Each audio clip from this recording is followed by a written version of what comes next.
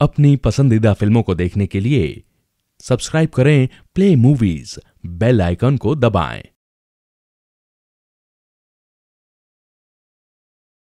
मंगल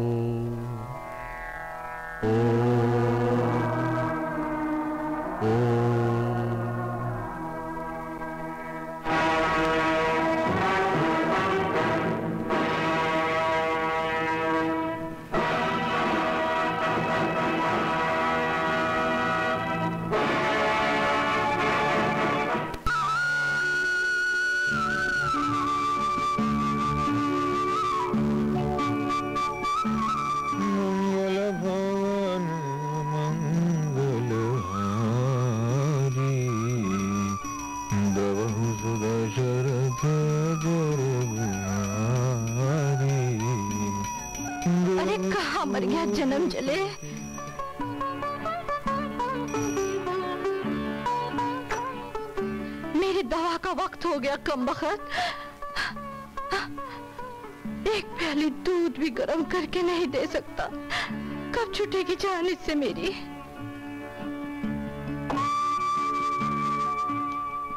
ले माँ दवा खा ले। सुबह की दवा दिन चढ़े खाऊं तो दवा क्या खा कसर करेगी? तू चाहता है कि मैं मर जाऊँ? हाँ, अभी सूरज देवता को जगने में काफ़ी समय लगेगा। दवा खा ले आराम आ जाएगा। सुबह होने में काफ़ी देर है माँ। सूर्य देवता को जागने में वक्त लगेगा। अभी सुबह होने में देर है। ज़ुबान तो देखो कैसी कैची की तरह चलाता है। अब मेरा मुँह क्या ताक रहा है मनहूस? जा जाकर मेरे बच्चों को स्कूल के लिए तैयार कर। अच्छा माँ पर तू ये दवा ज़रूर खा लेना। हम्म? अमर मैंने जो कहा था सब याद है बेटा? हाँ भैया। वो तो मुझे भी याद है। हाँ। तो बताओ क्या कहा था? घर से सीधा स्कूल स्कूल से सीधा घर रास्ते में कहीं रुकना नहीं एक दूसरे का छोड़ना नहीं। शाबाश बहुत पाले बच्चे चलो अब स्कूल को देर हो रही है हाँ? ए, आ, चलो बेटा खाना हाँ रखा भैया। चलो शाबाश। टाटा बड़े भैया। बड़े भैया।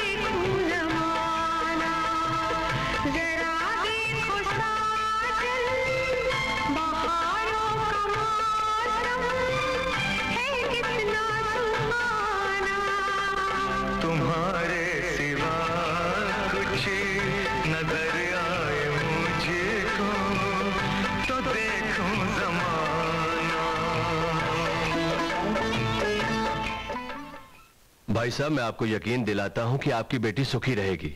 भाई साहब आपकी बेटी राज करेगी राज। बहन जी लड़की की किस्मत अच्छी हो तो सब ठीक है वरना किस्मत तो बहुत बड़ी चीज़ है भाई साहब। तो क्या मैं इस रिश्ते को पक्का समझू? मुझे तो रिश्ता मंजूर है लेकिन फिर भी चाहता हूँ कि एक बार लड़की की मर्ज़ी जान लूँ तो अच्छा है। क्यों नहीं क्यों नहीं? मुझे आपके जवाब का इंतज़ार रहेगा। अच्छा तो आप इजाज़त दीजिए। अच्छा। नमस्ते। नमस्ते। जीती रहो। सुखी रहो। जरा सुनो बेटी ये लोग तेरी शादी की बात करने आए थे। मैंने रिश्ता मंजूर तो कर लिया है मगर ये साफ़ कह दिया है कि पक्का जवाब तभी दूँगा जब अपनी बेटी की मर्ज़ी मालूम कर लूँगा। अच्छा किया डैडी कि आपने इनसे मेरी मर्ज़ी जानने के बात कर दी। मैं ये शादी नहीं करूँगी। अरे खाता पीता घराना है इज्जतदार लोग हैं लड़का देखने सुनने में अच्छा है पढ़ा लिखा है और क्या चाहिए? ये ये बात नहीं है डैडी। तो फिर क्या बात है? डैडी राज बहुत अच्छा लड़का है। आप भी उसे पसंद करेंगे। एकदम सीधा साधा है डैडी हम दोनों एक दूसरे से मैंने राज से शादी करने का फैसला कर लिया है। अगर आपकी इजाज़त हो तो। अरे तेरी खुशी से क्या मुझे कोई बैर है? राज अच्छा लड़का है तुझे पसंद है तो मुझे भी पसंद है। Oh daddy. मगर एक शर्त है। वो क्या डैडी? मैं अपने तजुर्बे की आँखों से उसे एक बार देखना चाहता हूँ। ओ श्योर डैडी। पिताजी का स्वर्गवास होने के बाद सारी कहानी तुम जानती हो सावित्री। माँ है भाई है उनका ख्याल रखना। फिर कॉलेज जाना नौकरी करनी ये तुम सब मुझे अपनी जिम्मेदारियों में शामिल क्यों नहीं कर लेते? मैं तो कहती हूँ आज चलकर डैडी से बात कर लो। आज ही? अरे कुछ सोचने का मौका तो दो। तुम यूँ ही सोचते रहोगे तो डैडी मेरी शादी कहीं और पक्की कर देंगे। और तुम उनके कहने से शादी कर लोगी? तुम भी बड़े चालाक हो। अच्छा? तुम जानते हो कि मैं तुम्हारे बिना किसी से शादी नहीं कर सकती। यही तो गड़बड़ है। क्या? ए, कुछ नहीं। तुम जानती हो कि तुम्हारे बिना मेरी किसी से शादी नहीं हो सकती। डॉक्टर ने दवा बदल कर दी है माँ? नहीं बेटा। अब दवाई से कुछ नहीं होगा। बैठ जा बेटा। माँ तूने मुझे बेटा कहा? हाँ बेटा। मैंने तुझे अपनी कोख से तो नहीं जन्मा धनु। लेकिन तूने मेरी सेवा सगे बेटे से भी बढ़कर की है। नहीं माँ ऐसा मत कह। माँ तो माँ ही होती है। तू फ़िक्र मत कर। मैं तेरा इलाज बड़े से बड़े डॉक्टर से कराऊँगा। ले अभी तो दवा खा ले। नहीं मुझे मेरी फ़िक्र नहीं है बेटा। फ़िक्र है तो तेरे इन दोनों छोटे भाइयों की। तू मुझे वचन दे। आ, आज से तू ही इनकी माँ। तू ही इनका बाप है। बोल धनु माँ तेरा साया सर पे रहे बस। सब ठीक हो जाएगा। ये मेरी अपनी है माँ। मेरा खून है। मैं इनकी खुशियों के लिए सब कुछ करूँगा। तू मेरे भाइयों के बारे में चिंता मत कर। बस तू ठीक हो जा माँ। ठीक हो जा। बेटा। बेटा। हाँ माँ। बेटा। बेटा। माँ।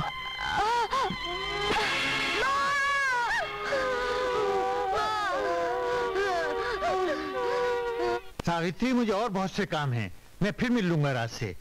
हो सकता है वो भूल गया हो। डैडी थोड़ी देर और। लेकिन बेटी वो तो इसी शहर में है ना? फिर किसी दिन बुला लेना। अब मैं चलता हूँ बहुत देर हो गई। अच्छा डैडी।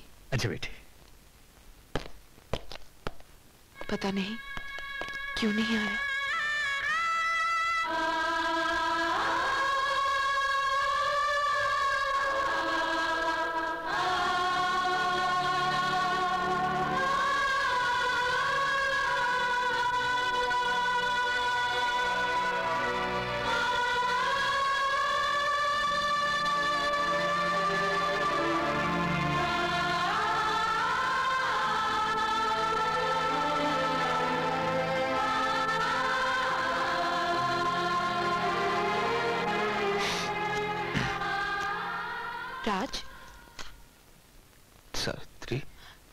चौंक क्यों गए? और ये सब क्या है? खाना बनाने की तैयारी कर रहा हूँ। इसलिए तो मैं खुद चलकर आई हूँ कि तुम घर चलकर डैडी से शादी की तारीख पक्की कर लो। अभी शादी नहीं हो सकती। क्या हाँ। नहीं कैसे हो सकती? मैं अभी माँ से बात करती हूँ। सावित्री माँ अब इस दुनिया में नहीं है। हाँ सावित्री। माँ हमें छोड़कर चली गई। अब तो बस माँ को दिया हुआ एक वचन है। जब तक वो पूरा नहीं हो जाता मैं शादी के बारे में सोच भी नहीं सकता। कैसा वचन? कौन सा वचन राज? मेरे ऊपर माँ छोटे भाइयों की ज़िम्मेदारी छोड़ गई है। जब तक वो अपने पाँव पर खड़े नहीं हो जाते तब तक मैं शादी नहीं करूँगा।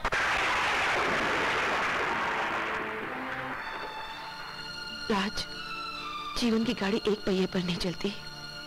मैं तुम्हें वचन देती हूँ कि शादी के बाद अमर और किरण को वो प्यार दूँगी कि उन्हें माँ की कमी कभी महसूस नहीं होगी। नहीं, सावित्री। हर लड़की की शादी के बाद कुछ सपने होते हैं। जो इन हालात में मुझे नहीं लगता कि मैं उन सपनों को पूरा कर पाऊँगा। मेरी इतनी जिम्मेदारियाँ हैं। जिनके तले मैं तुम्हारे सपनों को चलना नहीं चाहता। मुझे माफ़ कर देना। राज ज़िंदगी की किताब में मैंने तुम्हारा नाम लिख दिया है। वो किताब जल सकती है मगर उसे तुम्हारा नाम नहीं मिट सकता।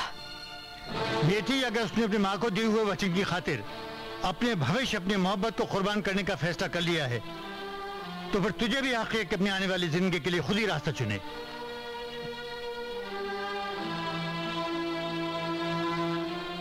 अब तू कहे तो राहुल के पिता को हाँ कह दूँ। उन्हें तेरे ही जवाब का इंतज़ार है बेटी। नहीं डैडी। मैं किसी और से शादी के बारे में सोच भी नहीं सकती। अब बेटी ये भी कोई समझदारी है। अब तू ही सोच। एक बाप की हैसियत से मेरा भी कुछ फ़र्ज़ है। मेरे भी कुछ अरमान हैं। मैं चाहता हूँ तू अपने घर चली जाए। सुख से रहे। और तेरा इस सुख में अपनी आँखों से देखो। डैडी बचपन से अब तक आपने जो मुझे लाड प्यार दिया है, मैं उसका वास्ता देती हूँ। आप मुझे मजबूर न करें। मैंने राज को दिल से अपना जीवन साथी मान लिया है। मैं शादी करूँगी तो सिर्फ़ राज से। आप आप मेरी चिंता ना करें। मैं आप पर बोझ नहीं बनूँगी, डैडी। बोझ? अरे पगली, ये कैसी बातें करने लगी है तू? औलाद माँ बाप पर कभी बोझ नहीं होती।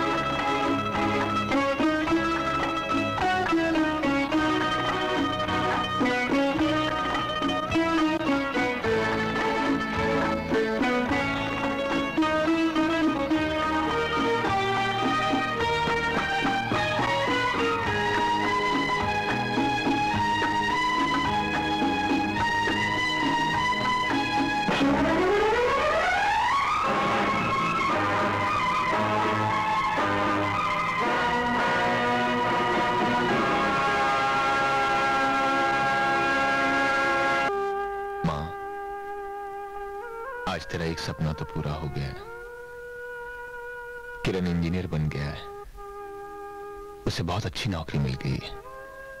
उसका सेठ उसे बहुत बड़ी मिल का सर्वे करने के लिए यहाँ से दूर भेज रहा है। आज पहली बार किरण मुझसे बिछड़कर दूर जा रहा है। आशीर्वाद भैया ये क्या? क्या रे? आपकी आँखों में आँसू? अरे नहीं रे ये तो ये तो मेरी जीत के आँसू हैं। मैंने माँ को वचन दिया था ना? आज वो पूरा हो गया है। देख तू तू मेरी एक बात सुन ले। सुनाइए। क्या है किरण? तू ठीक से वक्त पर उठ जाया करना। वो अलार्म वाली घड़ी रख ली है ना? हाँ जी। अम, दिन में सिर्फ़ दो बार चाय पीना। ठीक है भाई। और खाना ठीक से खा लिया करना। खा लूँगा।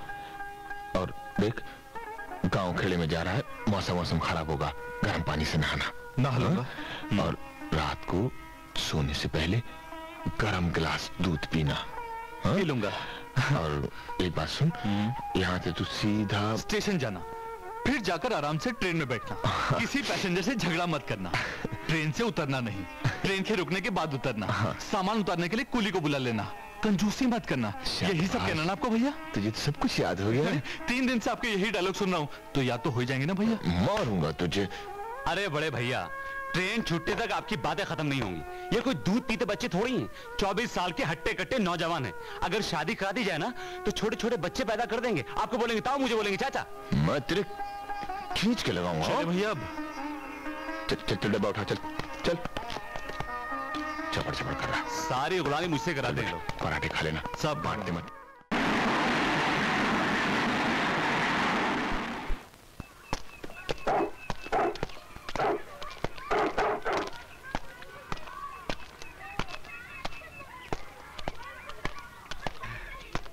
आइए।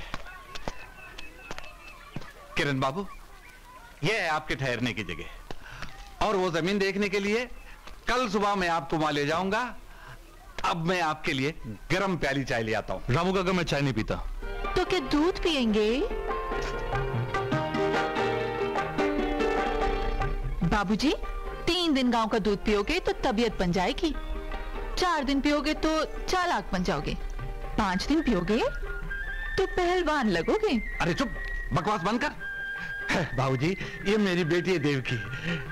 अरे किरण बाबू को नमस्कार कर। ओ नमस्ते। अच्छा बाबूजी मैं चाय ले ही आता हूँ। अरे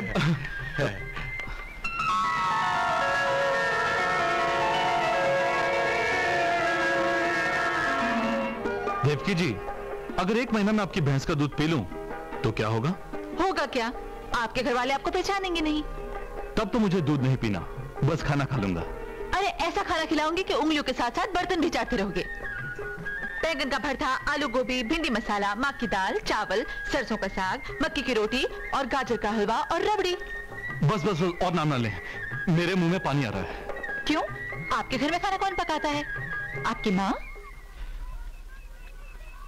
मेरी माँ नहीं है। मगर जिसकी बदौलत मैं इतना हट्टा कट्टा दिख रहा हूँ वो है मेरे बड़े भैया। मैंने भगवान को तो नहीं देखा मगर मेरे लिए तो वही साक्षात भगवान है। और कौन कौन है घर में? मेरा छोटा भाई अमर। भैया? भैया? भैया? आ गया तू। देखो भैया जब से किरण भैया गए हैं आप बहुत खोए खोए से रहते हैं। जाते वक्त तो आप उन्हें समझा रहे थे और खुद ना तो वक्त पे खाना खाते ना वक्त पे सोते हैं। मैं उन्हें सब कुछ लिख दूँगा। देख, ऐसा ऐसा मत लग देना उसे, वो परेशान होगा। क्या हुआ मुझे? बिल्कुल तो ठीक हूँ मैं। मैं तो बस ये सोच रहा था, अमर शहर की ज़िंदगी और गाँव की ज़िंदगी में बहुत फ़र्क होता है। वो वहाँ गया है, पता नहीं उसे कितना काम करना पड़ता होगा। कहाँ उसका रहने का इंतज़ाम होगा? कौन उसे खाने के लिए पूछता होगा? यहाँ तो मैं था। भगवान करे जहाँ भी वो हो। खुश हो बस। और खाइए ना बाबूजी। और? और खाऊँगा तो चार दिन तक सोता रह जाऊँगा। तुम सब कुछ लाई हो मगर एक चीज़ भूल गई हो। वो क्या? हाजमे की गोली। अच्छा। उसकी ज़रूरत यहाँ नहीं पड़ेगी। यहाँ का पानी इतना अच्छा है कि खाना खाते ही हजम हो जाता है। तुम्हारी बात तो सही है। मगर सब शहर वाले अगर गाँव में रहने आ जाएँ तो? तो गाँव भी शहर बन जाएगा। बाबूजी आपको गाँव अच्छा लगता है कि शहर? पहले तो शहर ही अच्छा लगता था मगर अब तुम्हें देखने के बाद गाँव ही अच्छा लगने लगा है।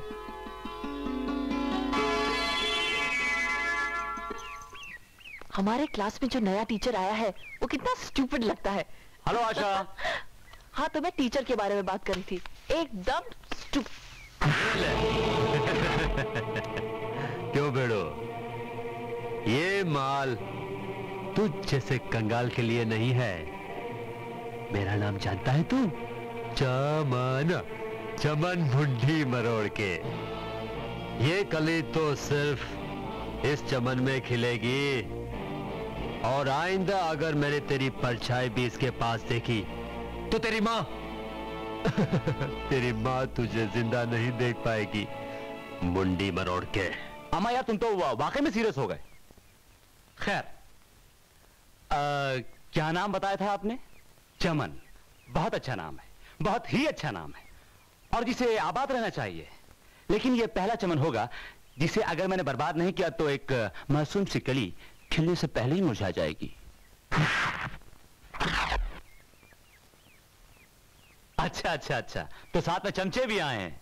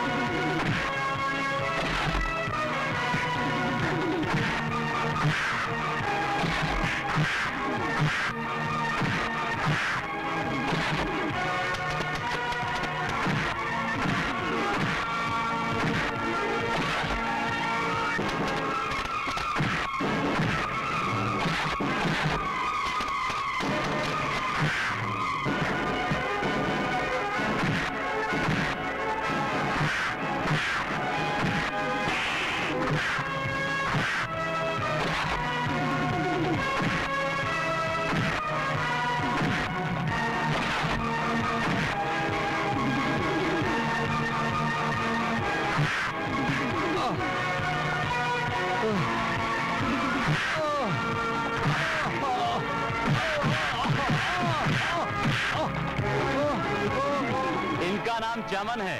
ये लोगों की मुंडी मरोड़ते हैं। मरोड़े की मुंडी? नहीं नहीं नहीं नहीं अब नहीं मरोड़ेंगे मुंडी।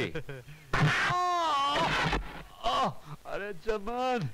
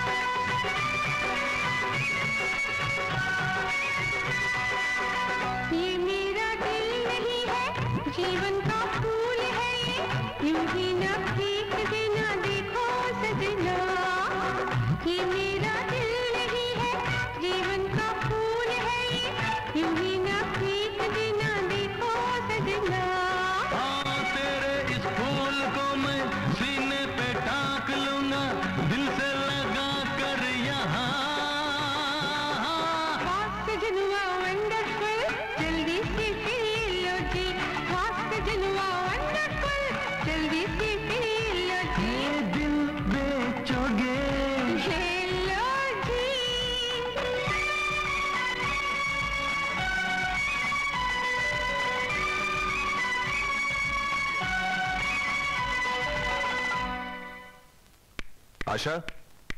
जी डैडी। इधर आओ कौन है वो? कौन? जिसने चमन से लड़ाई की। आज जो कुछ भी हुआ है उसकी ज़िम्मेदारी इन पर है। ये जो आपके सामने मासूमियत का चेहरा बनाए खड़े हुए हैं मैंने समझा था कि इनको अच्छा खासा सबक मिल चुका है और ये दोबारा कभी ऐसी हरकत नहीं करेंगे। मगर जब बात अब तक पहुँची गई है तो सुनिए जिनसे इन्होंने मारम पीटी की उसका नाम अमर है। और हमारे कॉलेज को उस पर फक्र है। उसने मुझसे कोई बदतमीजी नहीं की और इन्होंने उस पर हाथ उठा दिया। इन्होंने मुझे अपनी दिल की रानी कहा और जानी क्या क्या बदतमीजी की बातें कही। बताते हुए भी शर्म आ रही है। सारा कॉलेज सुन रहा था। अपनी बेटी से पूछे बगैर आपने इस पर विश्वास कर लिया। और इसे डांटने के बजाय आप मुझसे नाराज़ हो गए। हम्म। तो ये करते फिरते हो तुम। मगर Shut up! आइंदा आशा से बात करने की कोशिश की तो जबान खींच लूँगा तुम्हारी मैं। ठीक है मामा जी नहीं करूँगा। शर्मा से कहने का लाख मुझे ऑफ़िस में मिले। नगर आउट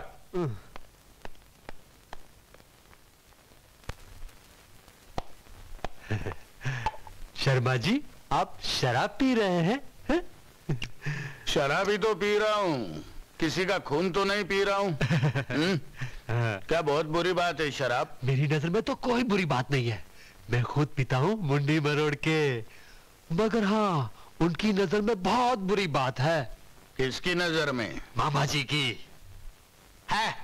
उसको क्या पता कि ये साली शराब क्या चीज़ है?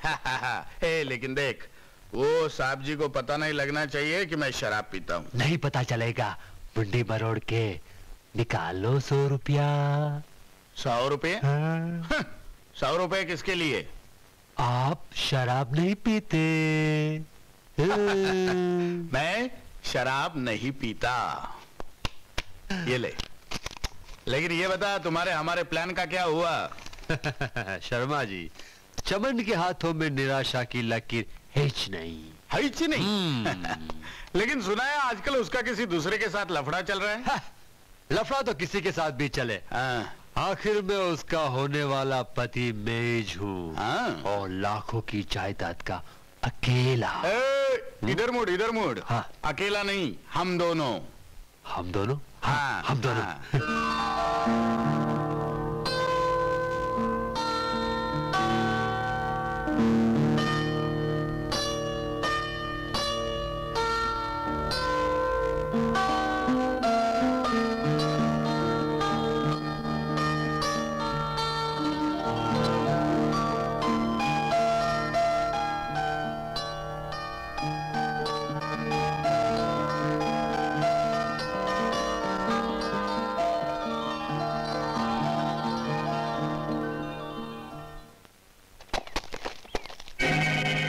राका का इलाका। बस किरण बाबू, अंदर मत जाना, वरना वो भूखे शेर की तरह टूट पड़ेगा। शेर कभी कुत्तों को चौकीदारी नहीं सौंपता। ये ज़मीन हमारी है। हाथ उठाने से पहले ये सोच लो। कहीं तुम्हारे हाथ टूट ना जाए।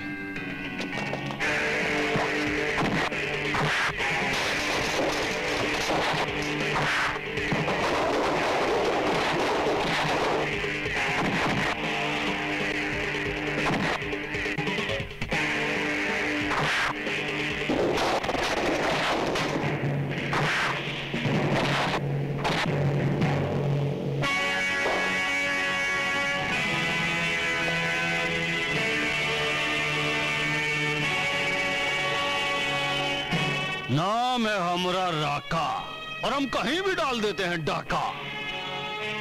बबुआ ये है हमारा इलाका। उठो चलो अपने इलाके में तो कुत्ता भी शेर होता है। कुत्ते? हमका कुत्ता कहा? अब कुत्ता कहा दिया तो काट के तो दिखाएँगे।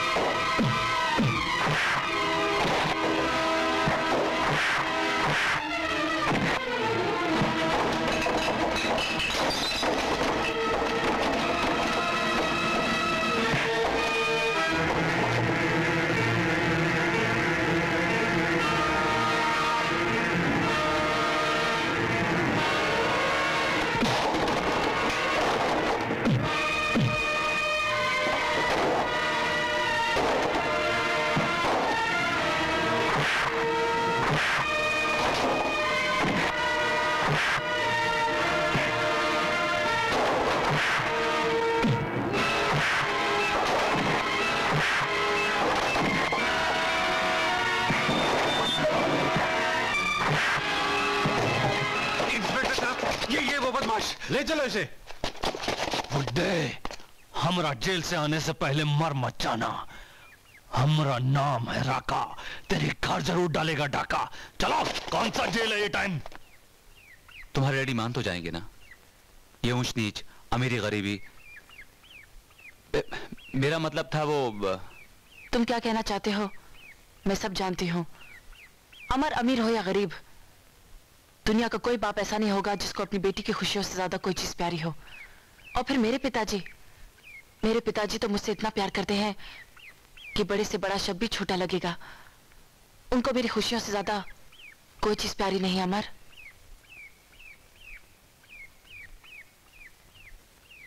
देख रामू मैं रोज तुझे एक बोतल देता हूँ। पर तू भी तो कभी मुझे कुछ देना। जानता हूँ यार। तू मुझे रोज एक बोतल देता है। हाँ। पर मैं क्या तुझे दे सकता हूँ? हाय हाय यार अपनी बेटी का हाथ। हाँ फिर देख ये ज़िंदगी भर एक दो दस बीस बोतल तो क्या? ये सारा दारू खाना तेरे नाम कर दूँगा। सारी ज़िंदगी दारू पीता रहूँगा? अरे हाँ। तू सच कह रहा है? अरे सच? मैं ज़िंदगी भर पीता रहूँगा। हाय तेरी बेटी की कसम रामू तेरी बेटी की कसम। दे दूँगा। देगा मैं अपनी बेटी का हाथ तेरे हाथ में दे दूँगा। एक न एक दिन तो उसकी शादी करनी है ना। पर तू मंगवा ना मंगवा। अरे लो अभी आई। ए शराब लाओ। एक दो तीन। शंभू। इजो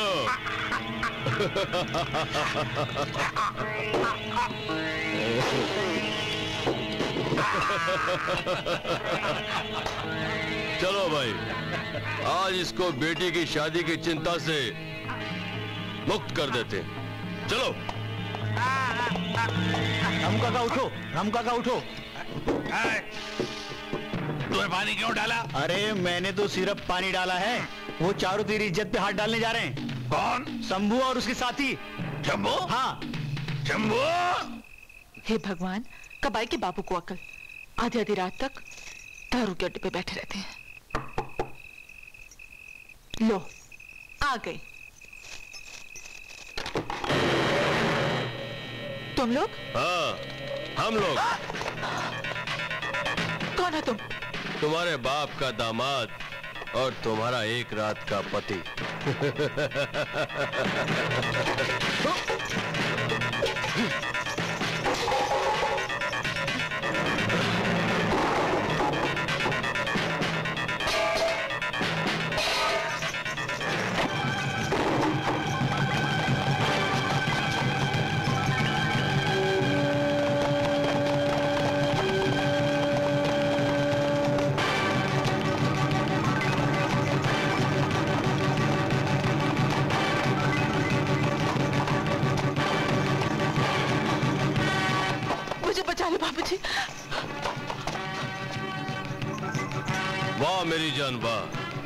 इसे तो तूने अपने पीछे छुपा लिया अब खुद किसके पीछे छुपेगा? अरे, काय को भेजा घुमाता यार? तू उसको देख ले। मैं इसे देख लेता हूँ। तुम चार हो, और तुम चारों की कब्र एक ही होगी। वो भी कब्रिस्तान से दूर, यहाँ, इसी जगह। क्योंकि कब्रिस्तान में सिर्फ़ शरीफ लोग दफन होते हैं।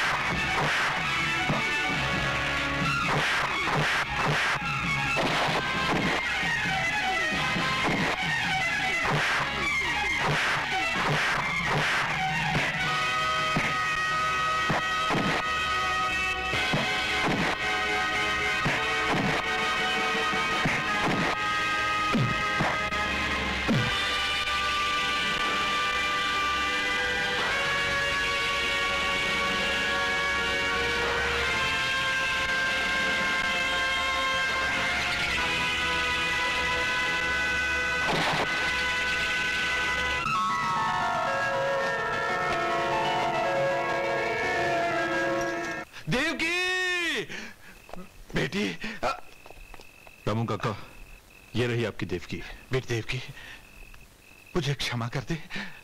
बेटी, बस एक बार और क्षमा कर दे। न जानी आँखों पर कैसी पट्टी बन गई। मैं तो पागल हो। किरण बाबू, मैं आपके इस एहसान का बदला सारी ज़िंदगी नहीं चुका सकता। ये सब इस मनुष्य शराब की वजह से हुआ है। मैं अपनी बेटी की सौगंध खा के कहता हूँ। कि आज के बाद इस गंदी चीज़ को कभी हाथ नहीं लगाऊँगा। सच बापू? हाँ बेटी। बापू। मैं तेरी सौगंध खा के कहता हूँ बेटी कभी मैं इसे हाथ नहीं लगाऊँगा कभी इसे हाथ नहीं लगाऊँगा। चल घर चल चल आजा आजा।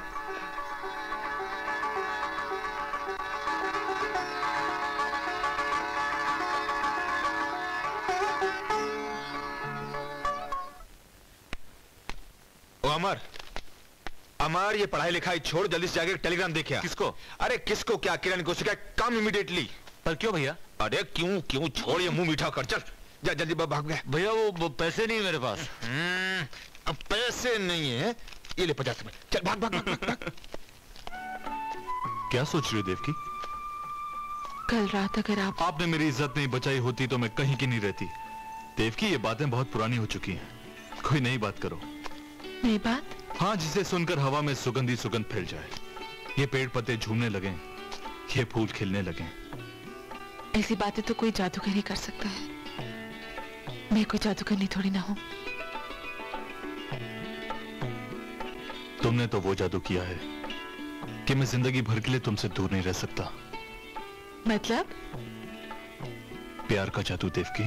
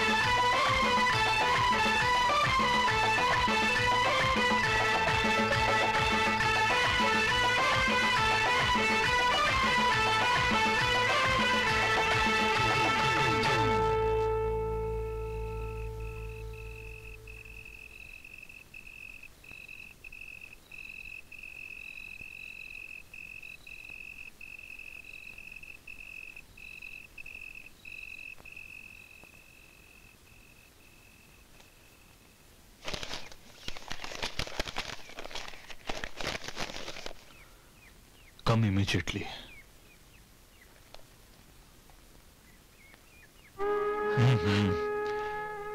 ये आँसू नहीं तेरे आँखों के मोती हैं।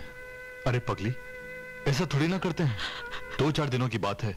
मैं यूँ गया और यूँ आया। और अगर तुम नहीं आए तो? क्या तुम्हें अपने प्यार पे विश्वास नहीं? प्यार पे तो है लेकिन जमाने पर विश्वास नहीं है किरण। हम जमाने से नहीं। जमाना हमसे है जानो। तुम मेरी हो सिर्फ़ मेरी और मेरी ही रहोगी। जानकी दास जी अब मुझे कोई बात नहीं सुननी। आपकी बेटी हमारी हो गई इसके आगे कुछ मत बोलिए। अब बोलने बुलाने के लिए रह ही क्या गया है? आपने तो मेरे सर का बोझ हल्का कर दिया।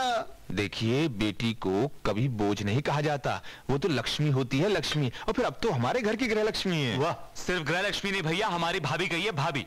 और अब भाभी को जल्दी से घर ले आइए। अरे दूल्हे राजा को तो घर आने दे। भैया। भैया? अरे अरे गले लग। कैसा छोटे? ए किरण चल पाओ छुइया हाँ? जीते रहो बेटा। अच्छा जी अब मैं चलता हूँ। अच्छा जी।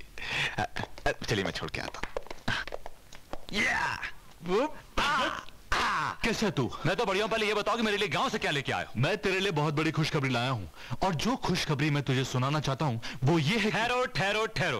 पहले मैं अपनी खुशखबरी सुनाऊँगा। छोटे पहले मैं सुनाऊँगा। मैं छोटा हूँ इसलिए पहले मैं सुनाऊँगा। मैं सुनाऊँगा। पहले मैं सुनाऊँगा मैं सुनाऊँगा। मैं सुनाऊँगा मैं सुनाऊँगा ये क्या हो रहा है? खबर मैं सुनाऊँगा। ठीक है भैया। मैं बड़ा हूँ। तो बड़े अच्छे मौके पे आया ये सज्जन जो भी गए हैं ना इनका नाम है जानकी दास। इनकी बेटी के साथ तेरा रिश्ता पक्का कर दिया क्या? तुम चुप क्यों करण भैया? क्या हुआ रे? इनकी बेटी का नाम है यशोधा साक्षात लक्ष्मी है लक्ष्मी। लगता है करण भैया नाराज़ हो गए। हाँ? मैं नाराज़ नहीं हूँ भैया। लेकिन इतनी जल्दी क्या है? अरे जल्दी मुझे है ना भाई। बरसों हो गए इस घर को बहू का मुँह देखे हुए। और हमें नाचे हुए। भैया अगर मैं शादी से इनकार कर दूँ तो? क्या? तू शादी से इनकार करेगा? तुझमें इतनी हिम्मत आ गई? एक बात कान खोल कर सुन ले किरण। इस रिश्ते को माँ ने तय किया था और मैंने जानकी दासी को वचन दे दिया है। इस घर में माँ की बात को कोई नहीं डाल सकता। अगर तूने इस शादी से आनाकानी करने की कोशिश की तो मेरा मरा हुआ मुँह देखेगा। भैया बात तो सुन लीजिए। मैं और कुछ नहीं सुनना चाहता।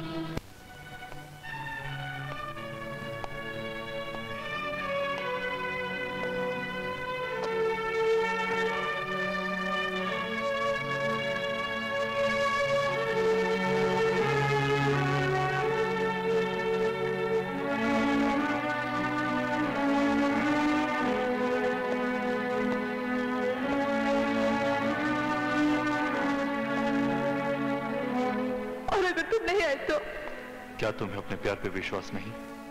प्यार पे तो है लेकिन जमाने पर विश्वास नहीं है किरण। हम जमाने से नहीं जमाना हमसे है जानू।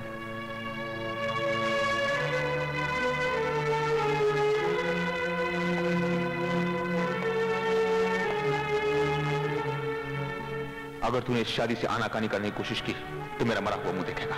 भैया। मैं और कुछ नहीं सुनना चाहता। घर में माँ की बात को कोई नहीं डाल सकता।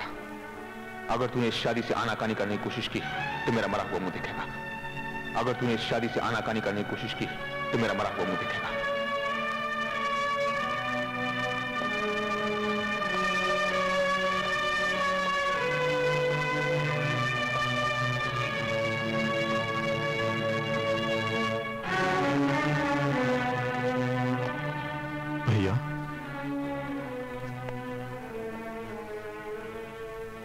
मुझे माफ़ कर दो भैया। मैंने आपका दिल दुखाया है। मैं शादी करने के लिए तैयार हूँ। सच? हाँ भैया। मुझे मालूम था। तुम माँ की बात कभी नहीं टालेगा।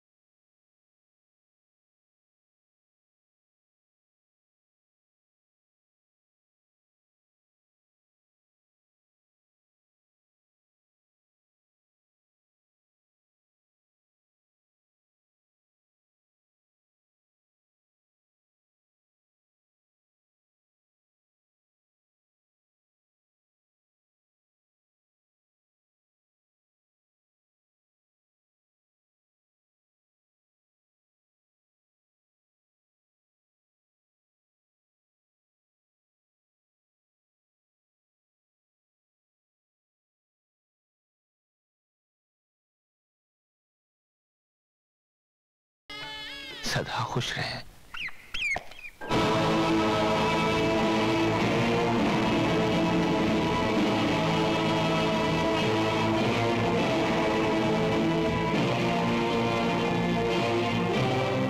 बुड्ढे हमने कहा था ना, नाम है हमरा राका। अब हम आ रहे हैं डालने डाका।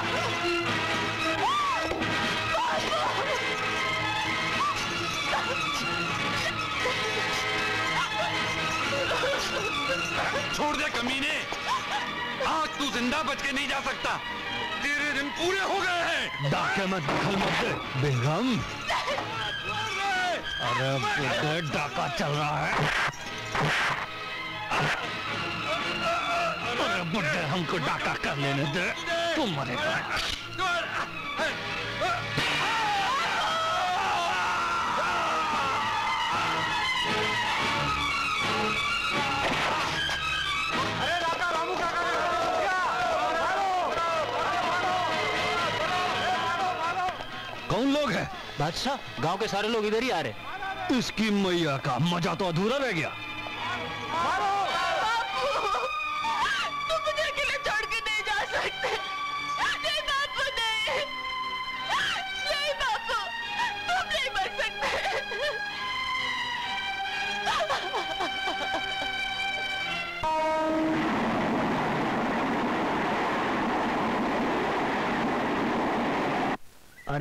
काका का राका ने खून कर दिया।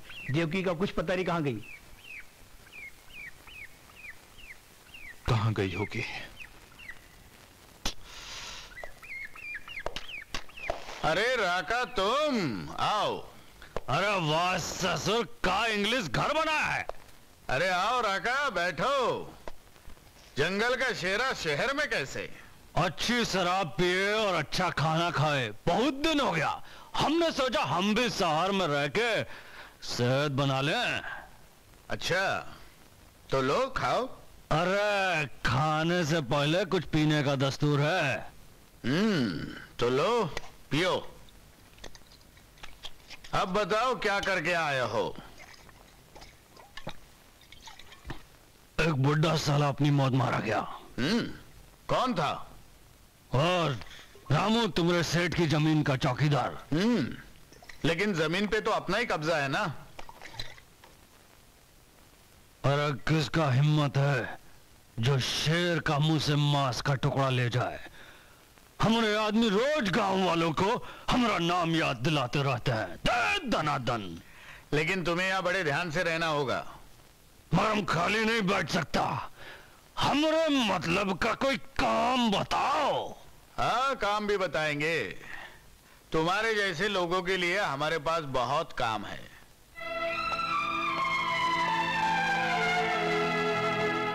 ये लीजिए चाय। यशोदा हम्म? मैं तुमसे कुछ कहना चाहता हूँ।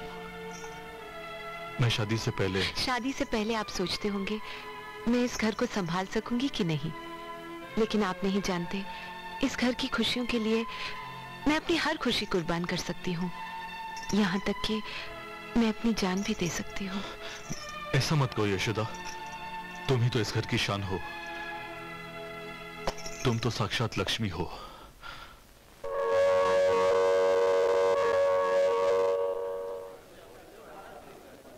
ऐसा भी होता है ये तो सरासर अन्याय है। क्या हुआ बोले चाचा? मैं तीन दिन की छुट्टी लेकर गाँव गया था। वहाँ मेरा बेटा मर गया। उसकी वजह से मैं दस दिन लेट हो गया। तो शर्मा जी ने मुझे धक्के मारकर ऑफ़िस से बाहर निकाल दिया और कहा कि कहीं और जाकर नौकरी ढूंढो। शर्मा जी की इतनी हिम्मत?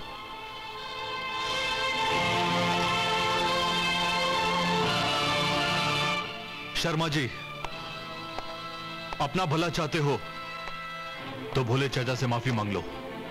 नहीं तो तुम क्या कर लोगे बेटे? आप देखना चाहते हैं? हाँ। तो देख लो।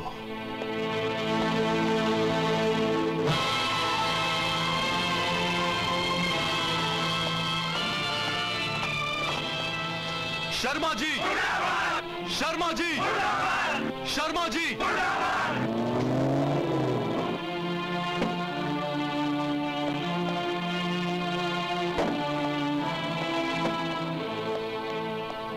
क्या बात है किरण? सेठ जी मिल के मालिक आप हैं या वो शर्मा जी? क्या मतलब? मिल मजदूर को नौकरी से निकालने वाले वो कौन होते हैं? आखिर हुआ क्या है? शर्मा जी ने भोले चाचा पर हाथ उठाया और उन्हें नौकरी से भी निकाल दिया। आप लोग क्या चाहते हैं? मैं शर्मा जी को नौकरी से निकाल दूँ? नहीं सेठ जी। बस एक बार वो सबके सामने भोले चाचा से माफ़ी मांग लें। शर्मा जी आप क्या चाहते हैं? माफ़ी मांगना या I am sorry Bholenath ji सेठ जी जिंदाबाद सेठ जी जिंदाबाद किरण भैया किरण भैया किरण भैया जिंदाबाद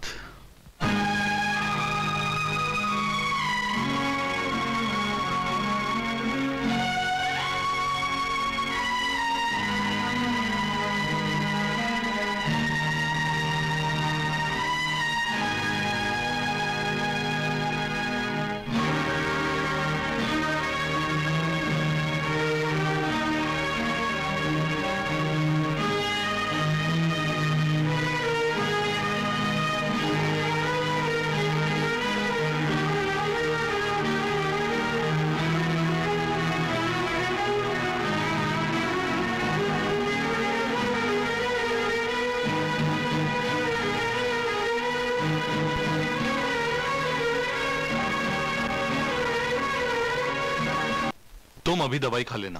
बाद में दूध पीना भी मत भूलना। भारी चीज़ उठाने की कोई ज़रूरत नहीं। समझे? और हाँ बड़े भैया आकर खाना बना लेंगे। हे मेरी माँ तुम कोई फॉरेन टूर पे जा रहे हो या आठ घंटे की नौकरी करने के लिए? यूँ गए और यूँ आए। अरे भाई पहली बार बाप बनने वाला हूँ ना। तो इसमें तकलीफ़ तुम्हें होगी या मुझे? वो तो तुम्हें होगी। काश मैं तुम्हारी तकलीफ़ में हिस्सा ले सकता। चलो अब जाओ।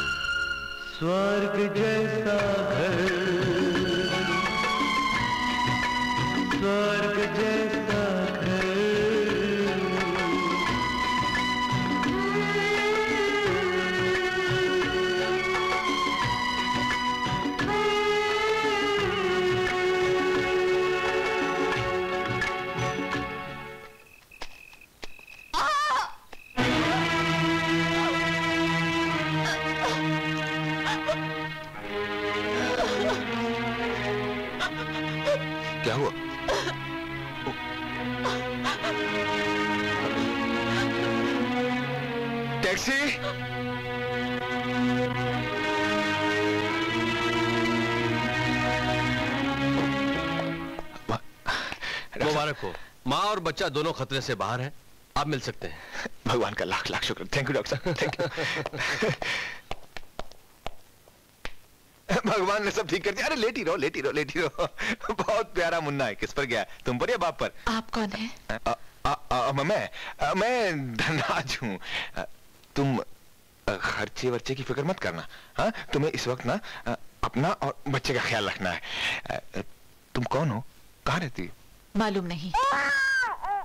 ओले ओले ओले ओले। देखती ली मम्मी क्या कहती है? कहती है उसको मालूम ही नहीं है। अब देखो सुनिए आप जरा बाहर जाइए मुझे इनके कपड़े बदलने हैं। हाँ? हाँ हाँ जी हाँ जी। मैं- हाँ, ठीक है तुम परेशान मत हो मैं मैं- मैं मैं बाहर बैठा हूँ। जैसे काम कर लेंगे मैं अंदर आ जाऊँगा। अच्छा अच्छा मेरे बच्चा आराम से आराम से। आहिस्ता सब ठीक हो जाएगा सब ठीक हो जाएगा। आहिस्ता हाँ आराम से। अरे भैया आप? किरण कहाँ तू- तू परेशान मत हो बहू अमर तू जाके किरण को लेके आ मैं चल रहने दे मैं हूँ ना यहाँ मैं मैं सब संभाल लूँगा और भैया किरण भैया का रहना बहुत ज़रूरी है मैं उन्हें भी बुला के लाता हूँ आप भाभी का ख्याल रखिए हाँ अच्छा अच्छा ठीक है आ बेटा हिम्मत रख बेटा हिम्मत एक्सक्यूज मी डॉक्टर साहब प्लीज़ डॉक्टर साहब ये वो डोंट वरी हम लोग हैं. आप इनके नाम की पर्ची निकालकर फ़र्स्ट फ्लोर में वार्ड नंबर 104 में आइए. नर्स इनको वहाँ लेकर जाओ. आइए. जाइए.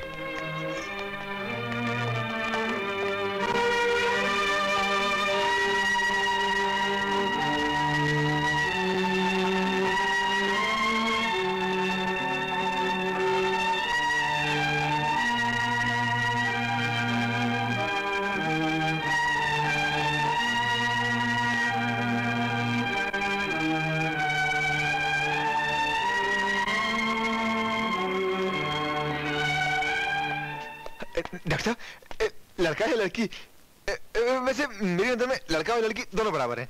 वैसे क्या हुआ है? आई एम सॉरी वो बच्चा माँ के पेट में ही मर चुका था। बच्चा माँ के पेट में मर चुका था? लेकिन माँ खतरे से बाहर है। मैंने उसे बेहोशी का इंजेक्शन दे दिया है। उसको अब आराम की ज़रूरत है। नहीं डॉक्टर साहब। अगर यशोदा को होश आने के बाद पता चला कि उसकी गोद सूनी हो चुकी है। तो ये बच्ची डॉक्टर साहब ये बच्ची ये सदमा बर्दाश्त नहीं कर पाएगी। पागल हो जाएगी डॉक्टर साहब। डॉक्टर साहब वो पागल हो जाएगी। अब ईश्वर की इच्छा के आगे कोई क्या कर सकता है? डॉक्टर साहब अभी अभी ये जिस औरत को लाए थे वो औरत वार्ड में इस पर्ची के साथ अपने बच्चे को छोड़कर चली गई। मेरे बच्चे को किसी अनाथ आश्रम में भर्ती करवा दीजिए, मैं ज़िंदगी भर आपकी एहसानमंद रहूँगी। एक बदनसीब माँ। एक माँ अपने मासूम बच्चे को अपनी गोदी में खिलाने के बजाय एक अनाथ आश्रम में डाल देना चाहती है। डॉक्टर साहब, एक विनती करो। इस मासूम को अनाथ आश्रम में डालने के बजाय अगर यशोदा की गोद में डाल देंगे तो इस बच्चे को माँ की गोद मिल जाएगी। और माँ को तुम बिल्कुल ठीक कह रहे हो धनराज। तुम बिल्कुल ठीक कह रहे हो। शुक्रिया, डॉक्टर साहब। शुक्रिया। अरे नहीं नहीं भाई, इसकी कोई ज़रूरत नहीं है। आप इनके साथ जाइए। जाइए।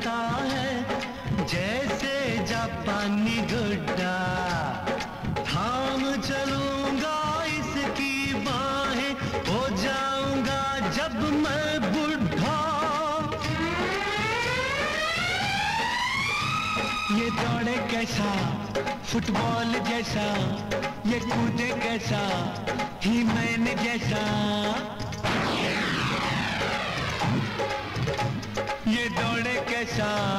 फुटबॉल जैसा। ये खुद कैसा? ही मैन जैसा। खुशियों भरी अंगनाई रे, खेले हमरा ललना खुशियों भरी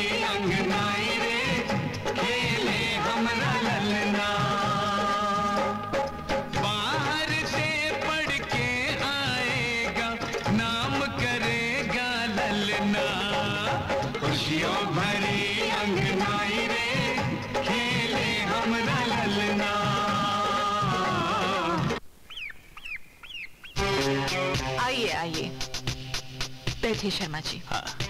आप आप मेरा नाम कैसे जानती हैं? हम जिस चीज़ को पसंद करते हैं उसके बारे में सब कुछ जान लेते हैं। लेकिन मैं कुछ समझा नहीं देवकी जी। हमने आपको यहाँ इसलिए बुलाया है क्योंकि जिस कॉटन मिल के आप मैनेजर हैं उसे हम खरीदना चाहते हैं। और ये काम सिर्फ़ आप ही करवा सकते हैं। आपने मुझे इस काबिल समझा इसके लिए धन्यवाद। तो फिर जल्दी से ये सौदा पक्का करवा दीजिए। आपको इनाम के तौर पर दो लाख रुपए नकद और उस मिल के जनरल मैनेजर की पोस्ट। मिली तो समझिए आपका ये काम हो गया। मैं आज ही दीवान दीनानाथ जी से बात करता हूँ। मुझे आज्ञा दीजिए देवकी जी। नमस्ते। नमस्ते।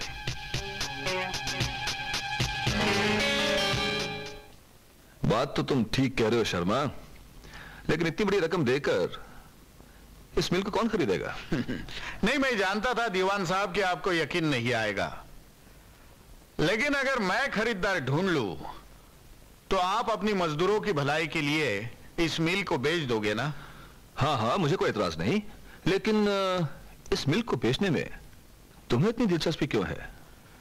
नहीं दीवान साहब अपनी मिल की इमारत पुरानी हो चुकी है। मशीनें भी जवाब देने वाली है।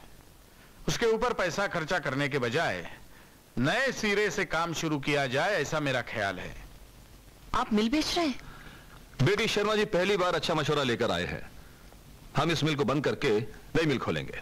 मैं समझी। मैं कॉलेज जा रही हूँ। बाय। बाय बाय सुप्रभात देवकी जी सुप्रभात। आइए शर्मा जी बैठिए। क्या खबर लाए हैं? खबर? खुशखबरी बोलो खुशखबरी। सेठ जी ने मिल के लिए आने वाली नई मशीनों का ऑर्डर कैंसिल कर दिया।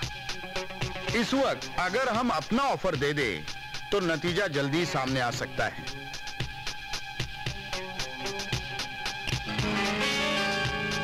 लीजिए।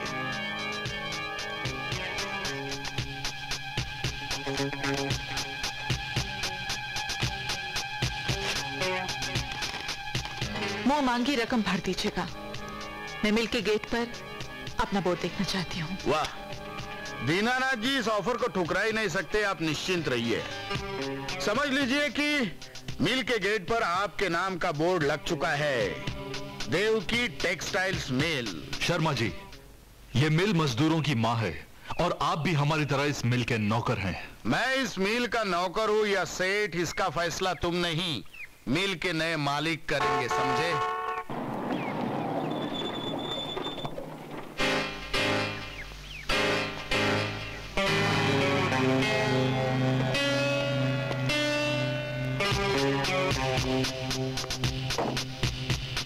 क्या बात है शर्मा जी? ये किरण बाबू पगार बढ़ाने के चक्कर में मजदूरों को भड़का रहे हैं। हम सभी मजदूरों की तनख्वाह बढ़ाने के लिए तैयार हैं। लेकिन किरण बाबू को इसी वक्त मिल की नौकरी से हटा दिया जाता है।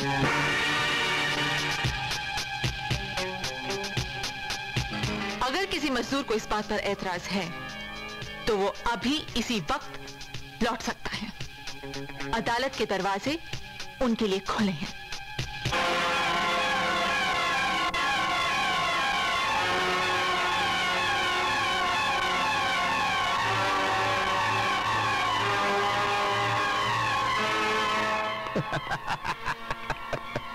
अब तो फैसला हो गया ना किरण बाबू कि मैं इस मिल में क्या हूँ?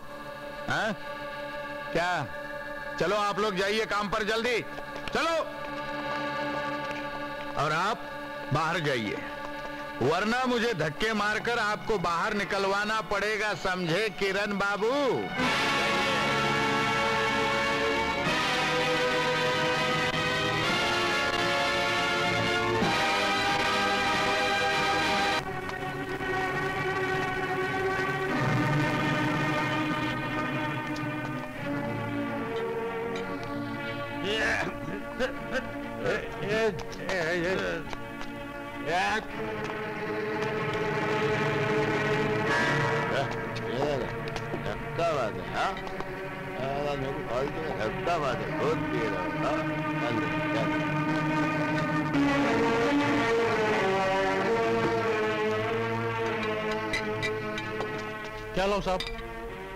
बोतल शराब। कौन सी?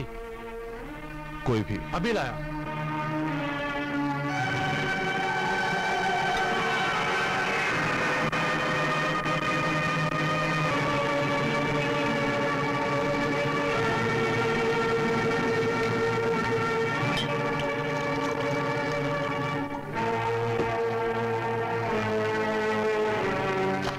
ये तुम क्या कर रहे हो किरण? तुम्हारा दिमाग तो ठीक है? हाँ मेरा दिमाग बिल्कुल ठीक है। इसीलिए तो मैं शराब पी रहा हूँ। बड़े भैया गंगा जल के अलावा किसी चीज़ को हाथ तक नहीं लगाते और तुम शराब पी रहे हो। हाँ हाँ मैं शराब पी रहा हूँ। गम के समुंदर में अगर इंसान डूब जाए तो शराब के सहारे ही तैर सकता है। जमाना कितना बदल गया है। कल कल मैं क्या था? और आज? आज मैं क्या हो गया हूँ? किरण किरण अपने आप को संभालो किरण। प्लीज़ संभालो अपने आप को। किस्मत ने मुझे इतनी ऊंचाई से फेंका है। मेरी नौकरी चली गई। तो क्या हुआ यार? तो क्या हुआ? एक गई दूसरी मिल जाएगी। अब ऐसा नहीं होगा। अब ऐसा नहीं होगा। मुझे लगता है कि मैं पागल हो जाऊँगा। किरण। अगर अगर तुझे मुझसे थोड़ी सी भी हमदर्दी है तो मुझे पीने से मत रोक। मुझे पीने से मत रोक तू लरे किरण नहीं। मत रोक। किरण।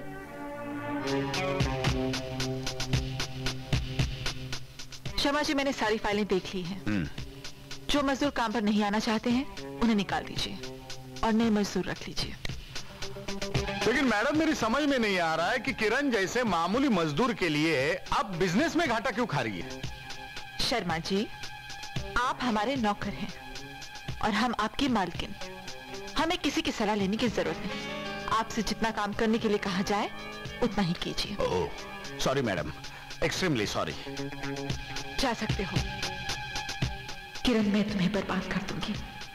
तड़पा तड़पा के मारूँगी। पाए गुंबड़ी बड़े भैया। जीती रहो। यशोदा किरण रात कितने बजे आए? वो आए होंगे एक डेढ़ बजे आए होंगे भैया। एक डेढ़ बजे। तब तक तो मैं भी जग रहा था। तुमने पूछा नहीं उसे इतनी देर तक कहाँ था वो? वो अरे भाभी से क्यों पूछते हो बड़े भैया? वो कल रात को क्या हुआ कि मेरे एक दोस्त के यहाँ पार्टी थी? मैं और किरण वहाँ चले गए। वहाँ से जरा देर से निकले तो घर पहुँचते पहुँचते और भी लेट हो गए। आ, है ना किरण? हाँ भैया कल रात बहुत देर हो गई थी। चल दुलारे। अच्छा भैया नमस्ते भाभी। सुनिए टिफ़िन लेकर नहीं जाएँगे? नहीं कैंटीन में ही खा लूँगा। बहुत देर हो गई है ना?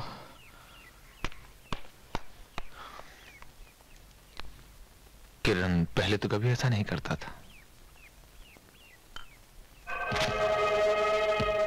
आज ये काम हो जाना चाहिए। अब फ़िक्र मत कीजिए देवकी जी। शाम ढलते ही आपका ये काम हो जाएगा। ये रहा एडवांस बाकी काम होने के बाद। लेकिन काम आज रात को ही हो जाना चाहिए समझे?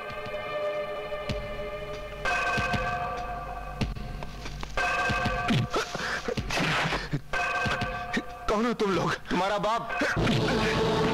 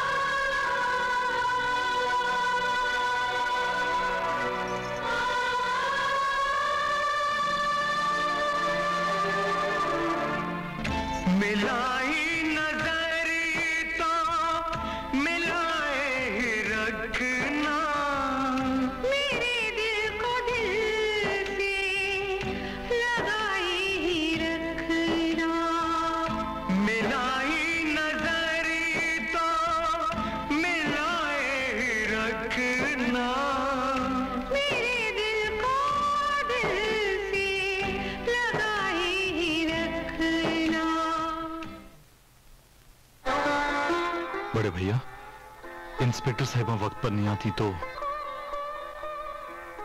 मेहरबानी इंस्पेक्टर साहबा। आपने मेरी जान बचाकर बहुत बड़ा एहसान किया है। वरना माँ का सपना अधूरा रह जाता। अब कौन सा सपना अधूरा रह गया भैया? तेरी शादी करवा दी। अभी अमर की करना बाकी ओहो बड़े भैया हम दोनों भाइयों ने मिलकर तय किया है कि अगर आपने काम धाम बंद नहीं किया तो हम लोग मिलकर आपको शादी करा देंगे। क्यों?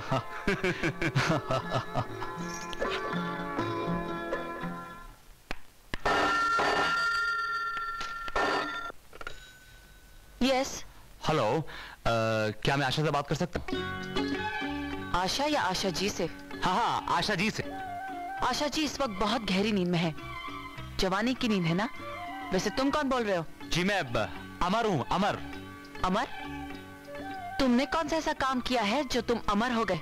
क्या मैं जान सकता हूँ? आप कौन बोल रही हैं? मैं आशा की आंटी बोल रही हूँ। नमस्ते आंटी जी मैं तो आपको मौसी जी बोलूँगा हाँ। क्या है मौसी जी? मैं आशा जी के ज़रिए आप ही से मिलना चाह रहा था। असल में क्या है कि वो मेरे कॉलेज में पढ़ती है और मेरी क्लासमेट भी है और उसकी ऊट पटांग हरकतों की वजह से मुझे लगा कि मेरा आपसे मिलना बहुत ज़रूरी है। कहीं वो आपके आसपास तो नहीं है। और मौसी जी आपसे एक और कॉन्फिडेंशियल बात कहनी थी। उसका आजकल रोमांस बड़ी ज़ोर शोर से चल रहा है।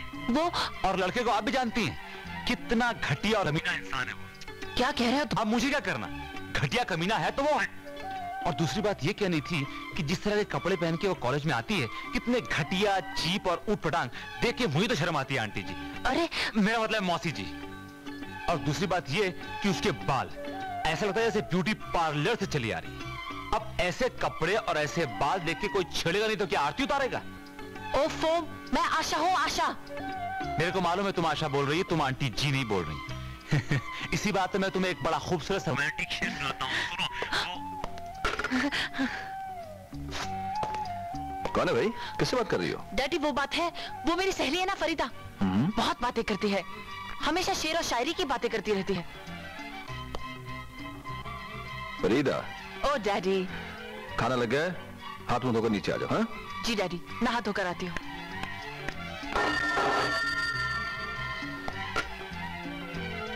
खैर तुमने फ़ोन क्यों काट दिया? कितना रोमांटिक मूड बना था। तो शेर सुनो। वो आए हमारे घर। खुदा की कुदरत है। कभी हम उनको कभी अपने घर को देखते हैं। कौन है आप? ये उसका बाप है। आशा? जी डैडी ये फरीदा शायरी के अलावा और क्या क्या करता है? फरीदा लड़की का नाम है डैडी ओ तो फिर ये फ़ोन पे उल्टी सीधी बातें कौन कर रहा था? देखो बेटी। मैं जानती हूँ आप क्या कहना चाहते हैं डैडी मैं आपकी बेटी हूँ। दुनिया की ऊंच नीच से अच्छी तरह वाकिफ हूँ। लेकिन अमर बहुत ही नेक और शरीफ लड़का है डैडी ये अमर वही लड़का ना जो तुम्हारी क्लास में पढ़ता है पर एक बार चमन से जी डैडी अमर वही लड़का है। अरे उसे किसी दिन घर पे तो बुलाओ। मैं उसके बारे में कुछ जानना चाहता हूँ। आखिर तेरी ज़िंदगी और भविष्य का सवाल है? आपको अमर के बारे में जो कुछ भी जानना है मैं आपको बता देती हूँ। अच्छा? गुड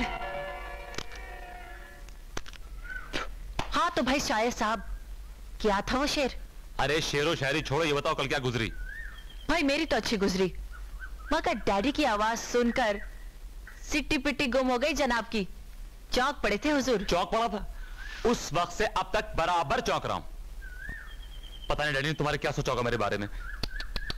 सोचा तो बहुत मगर अच्छा सोचा। डैडी तुमसे मिलना चाहते हैं। क्यों? तुम्हारे डैडी मुझसे मिलना चाहते हैं? आशा क्या मेरी फोटोग्राफ से काम नहीं चलेगा? क्या शादी के फेरे भी फ़ोटो के साथ लेने होंगे हूँ इसका मतलब तुम्हारे पिताजी मान गए बात बन गई। याहू!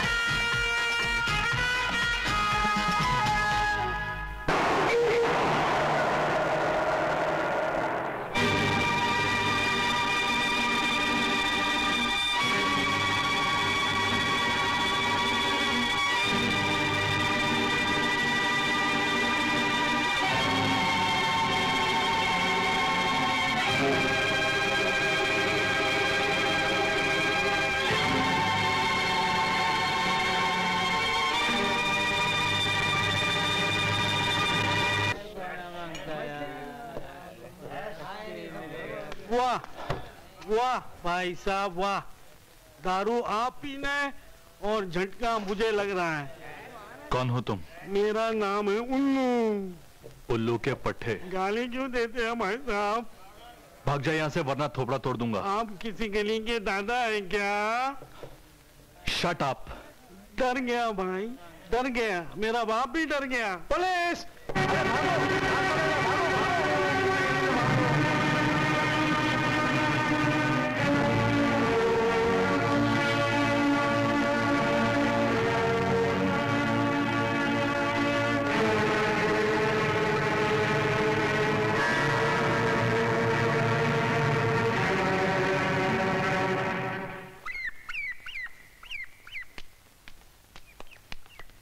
इसलिए नमस्ते। बुला ले अच्छा वो तू आ गया। किरण कहाँ है? कल साई से घर नहीं आया यशोधा परेशान है। कहाँ गया है वो? बड़े भैया बात यह कि किरण कल रात को दारू के अड्डे पे पकड़ा गया है। क्या? किरण दारू के अड्डे पे?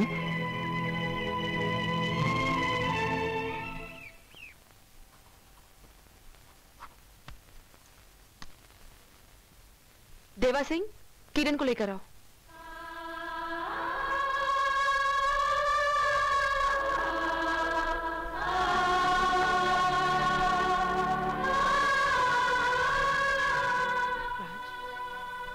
और शराब पीने लगा है? ये तो मैं सपने भी नहीं सोच सकती थी। सपने अक्सर हकीकत से परे होते हैं सावित्री।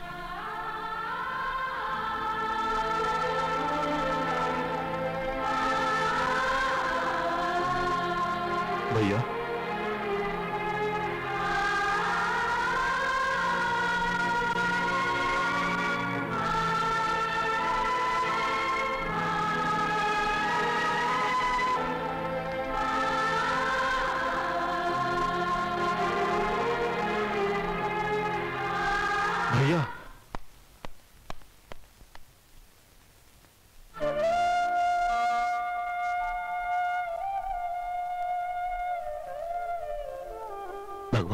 साक्षी मानकर बता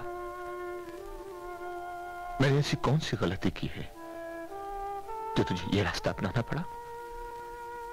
मैंने माँ को वचन दिया था। मुझसे ऐसी कौन सी भूल हो गई है जो तुझे शराब पीकर बर्बादी के रास्ते पर जाना पड़ा? भैया भैया, आपकी कोई गलती नहीं है। आप तो मेरे लिए भगवान से भी बढ़कर हैं। गलती तो मेरी किस्मत की है। मेरी मेरी नौकरी छूट गई है भैया। और मैं किरण, इतनी सी बात से हार गया तू।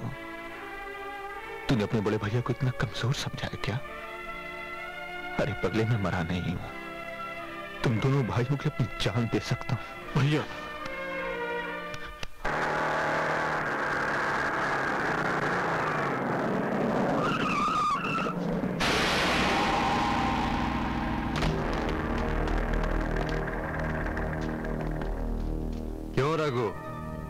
बना दे इसे दूल्हा मुंडी मरोड़ के। ऐसा दूल्हा बनाओ साले को टूटे हुए हाथ पैर लेकर घोड़ी के बजा पालकी में जाए। अगर ये पालकी में जाएगा तो आशा जी किसमें जाएँगी? अरे इन्हें तो हम उठा के ले जाएँगे।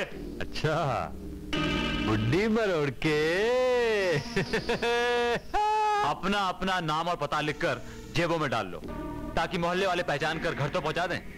अबे ओ साले बहुत अगड़ता है हाँ?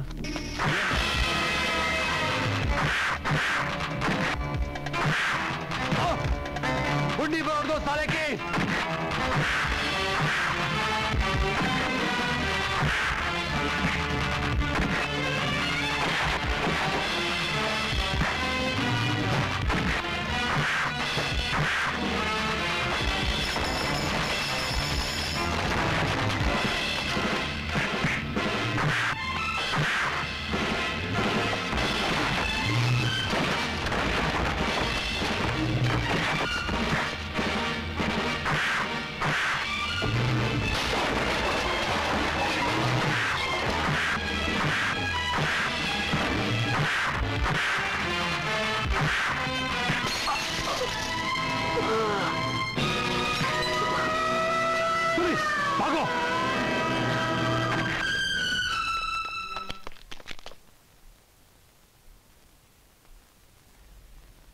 देख रही हो। सोच रही हूँ कि कहाँ बैठूं। जी तो चाहता है तुम्हें अपनी पलकों में बैठा लूँ। मगर क्या करूँ बहुत तारी हो। क्या? तुम्हारे दिल में मेरे लिए कोई जगह नहीं? तुम्हारे लिए इतनी सारी जगह है दिल में। लेकिन अपनी जगह भाभी के दिल में बना लेना जरा। अमर तुम कब आ... अरे ये चोट कैसे लगी? किसको? हाँ? हाँ ये चो, ये चोट हाँ। इस लड़की की वजह से लगी है। मेरी वजह से? हाँ। ये झूठ बोलता है। ये खुरी गुंडों से लड़ा था। जरा इनसे पूछे किसकी वजह से लड़ा था? किसकी वजह से? बताओ। इसकी वजह से ना अक्सर प्यार में ऐसा ही होता है। जब दो दिल मिलते हैं दुनिया की सारी बातें भूल जाते हैं। भाभी तुम्हें क्या हो गया है? क्या हो गया है? हुआ मुझे नहीं हुआ तुम्हें है। प्रेम रोग बच्चों प्रेम रोग। तो तुम्हें पता चल गया है? जी हाँ। तो ये बताओ कि मेरी पसंद तुम्हें कैसी लगी? मुझे तुम्हारी पसंद बहुत पसंद आई। लेकिन अपनी पसंद का नाम तो बताओ। आशा। आशा। मेरी बात ठीक है मगर अपने भैया और बड़े भैया। भाभी बड़े भैया को तुम पटा लेना और छोटे भैया को तो मैं अंदर कर ही लेता हूँ। ऐसा? हाँ, हाँ। ओके चलो आशा। अमर? यस सर आपने फ़ीस नहीं भरी? कब भरोगे? जब तारीख निकल जाएगी? आप इतने अच्छे स्टूडेंट हो एग्ज़ाम में बैठ नहीं पाओगे। यस सर भाभी भाभी। हाँ अमर। भाभी एक दो सौ रुपए दो। किस लिए? दो महीने से कॉलेज की फ़ीस नहीं भरी है। मेरे पास पैसे नहीं है अमर। और तीन महीने से तो तुम्हारे भैया की भी तनख्वाह का कुछ पता नहीं। अरे दो चार दिन में पैसे मिल जाएँगे तो तेरी फ़ीस दे देंगे। अरे हमारे तनख्वाह में देर सवेर तो हो ही जाती है। यशोदा ये थोड़े से पैसे रख लो हाँ? बड़े भैया इतने पैसे आप कहाँ से लाए? तुम ऐसे क्यों देख रहे हो भाई? तुम दोनों ने तुमसे कहा था कि मैं काम वाम बंद कर दूँ सो मैंने दुकान बंद कर दी। वो डिपॉजिट के थोड़े से पैसे मिले थे ले ठीक किया ना मैंने? अरे बहुत अच्छा किया। अब आप कितना काम करते? देखिए किरण भैया तो काम कर ही रहे हैं। और कुछ दिनों के बाद कॉलेज की डिग्री मिलने के बाद मुझे भी नौकरी मिल जाएगी। और फिर नोटों की बारिश होगी। क्यों किरण भैया? हाँ।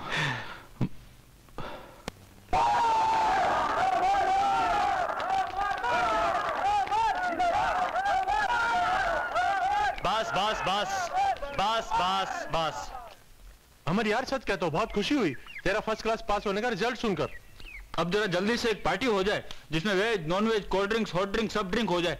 आप सब लोगों की पार्टी ड्यू है। दोस्तों मैंने एक डिग्री तो हासिल कर ली है लेकिन इस देश में डिग्री हासिल करने से ज़्यादा इंपॉर्टेंट है एक अच्छी नौकरी मिलना। तो अच्छी नौकरी मिलना और डिग्री मिलना दो बातें हो गई। यानी कि आप लोगों की दो पार्टी ड्यू हो गई। तो आप सब लोगों को दो पार्टियाँ मिलेंगी एक नौकरी के लिए और एक डिग्री के लिए। कॉन्ग्रेचुलेशन अमर थैंक यू भैया भैया मैं पास हो गया। अरे वो तो होना ही था। पास ही हुआ या तू? मैं क्लास में फ़र्स्ट आया हूँ। शाबाश अमर। माँ का आशीर्वाद है तुम्हारे साथ। उनकी मुरादें ज़रूर पूरी होंगी। आओ ना। डैडी ये अमर है। आओ अमर आओ बैठो। भाई कंग्रेचुलेशन आशा ने बताया कि तुम फ़र्स्ट आए हो? थैंक यू सर अब क्या करने का इरादा है? फ़िलहाल तो सर्विस करने का इरादा है लेकिन घर वालों का हाथ बटाना भी तो मेरा फ़र्ज़ है। ख्याल तो बहुत अच्छे हैं मगर अमर पहले अपनी ज़िंदगी के बारे में सोचो। जी। घर वालों का हाथ तभी बटा सकोगे जब अपने पैरों पर खड़े हो जाओगे। अगर मैं तुम्हारी कोई मदद कर सकूँ तो मुझे बताना तकल्लुफ मत करना। अरे तुम यहाँ खड़ी खड़ी क्या कर रही हो? अमर पहली बार घर आए से चाय वाय पिलाओ। आओ अमर। जाओ। आपको मैंने कितनी खबरें लाके दी मगर लगता है कि आप मेरा काम कभी नहीं करवाएँगे और मेरे मामा जी आशा की शादी उस उल्लू के पट्टे के साथ करवा देंगे मुंडी मरोड़ के। नहीं नहीं चमन जब तक हम ज़िंदा है वो बुढ़ा अपनी बेटी की शादी तुमसे ही करेगा। अगर उसने कोई गड़बड़ की तो हम आशा को उठा लेंगे। कैसे कौन है ऐसे कौन है भैया मुंडी मरोड़ के हैं? आ, पुलिस की हर डायरी में हमारा नाम सोने के अक्षरों में लिखा है, है? नाम है हमारा राका और हम कहीं भी डाल देते हैं डाका शर्मा जी हमसे गुजारिश करें तो हम उस लौंडे को काट के खा जाएँगे तुम्हारी मुंडी मरोड़ के शर्मा जी तो फिर कुछ कीजिए ना चमन तू हमेशा की तरह बुद्धू का बुद्धू ही रहा अरे दाव तब लगाया जाता है जब हार जीत की दौड़ शुरू हो जाती है। थोड़ा सबर कर सबर। किरण? किरण? दुलारे ये लो पहले गाजर का हलवा खाओ। क्यों? किरण को नौकरी मिल गई है क्या? नौकरी मिल गई? क्या मतलब? वो वो। सच बताओ दुलारे तुम्हें मेरी कसम। भाभी। तीन महीने से मैं देख रही हूँ उनकी तनख्वाह भी नहीं आई। तनख्वाह कहाँ से आएगी भाभी? जब किरण की नौकरी ही चली गई। क्या? हाँ भाभी नई मालकिन ने किरण को नौकरी से निकाल दिया है। और उन्होंने मुझे बताया तक नहीं? क्या बताता भाभी बेचारा? वो तो वैसे ही बहुत परेशान है। लेकिन लेकिन इसमें किरण का कोई कसूर नहीं है। ये सब किया कराया उस मैनेजर शर्मा का है। भाभी आप मेरी एक बात मानो तो जाकर नई मालकिन से मिलो। वो बहुत अच्छी है। हाँ वो ज़रूर आपकी मदद करेगी।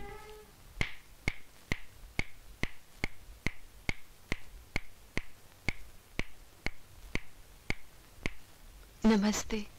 नमस्ते। कौन हो तुम? क्या चाहती हो? आप ही मेरे घर को बर्बादी से बचा सकती हैं। यही बिनती लेकर मैं आपके दरवाजे तक आई हूँ। हम तुम्हारे घर को बर्बादी से बचा सकते हैं। वो कैसे? जिन मजदूरों को आपने निकाला है, उनमें मेरे पति भी। हमने तो सिर्फ़ एक ही आदमी को निकाला है। बाकी मजदूर तो अपनी मर्ज़ी से काम छोड़कर गए हैं। जानती हूँ। मगर जिसे आपने निकाला है, वही मेरे पति हैं। उनका नाम किरण है। मैं तुम्हारे लिए कुछ नहीं कर सकती। भगवान के लिए ऐसा अनर्थ मत कीजिए। तुम जा सकती हो।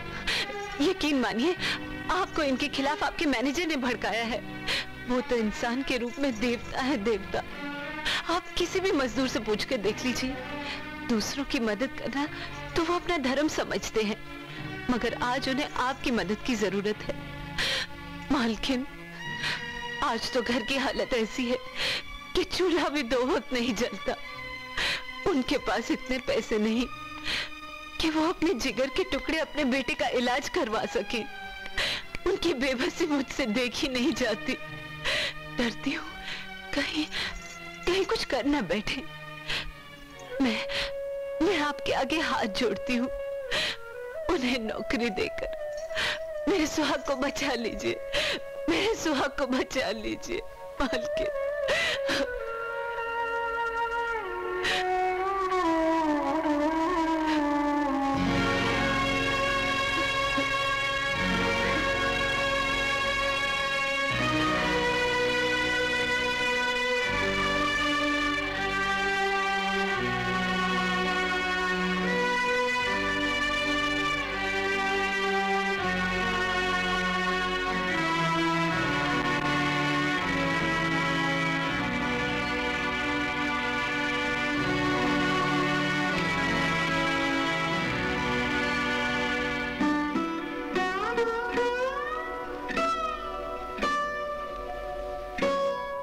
वचन देती हूँ, बहन। तुम सदा सुहागन रहोगी। इससे ज़्यादा मैं कुछ नहीं कर सकती।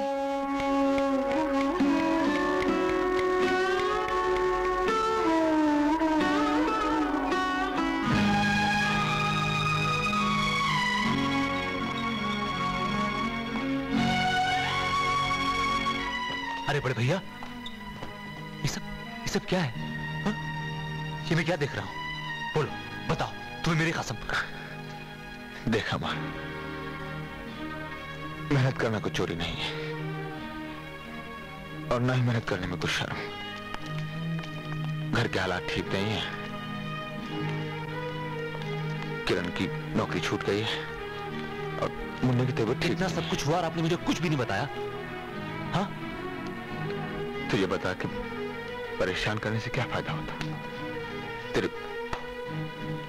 के दिन है।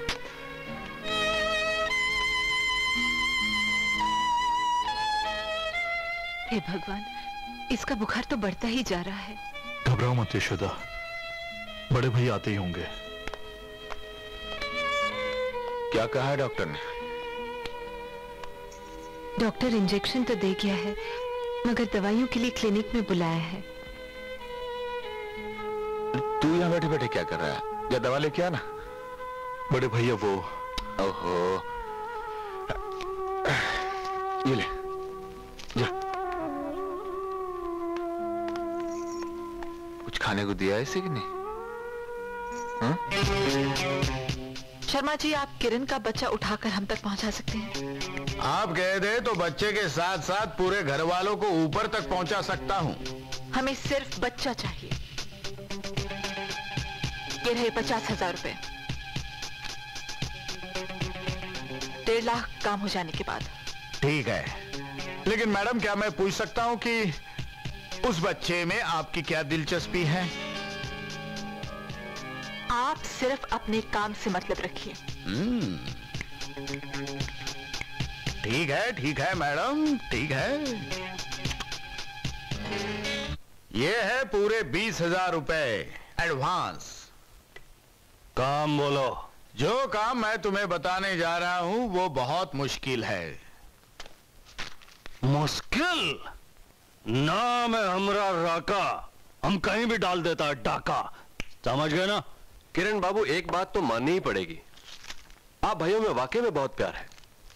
वरना किसी और के बच्चे के लिए इतना सब किसी और के बच्चे के लिए? मैं मैं कुछ समझा नहीं डॉक्टर साहब। असल में वो बच्चा तुम्हारा नहीं है। क्या? ये ये आप क्या कह रहे हैं डॉक्टर साहब? हाँ। उस रात तुम्हारे बड़े भैया एक गर्भवती औरत को लेकर यहाँ आए थे। ये बच्चा उसी औरत का है। और तुम्हारी वाइफ ने एक मरे हुए बच्चे को जन्म दिया। होश में आने के बाद उसे कोई सदमा ना पहुँचे।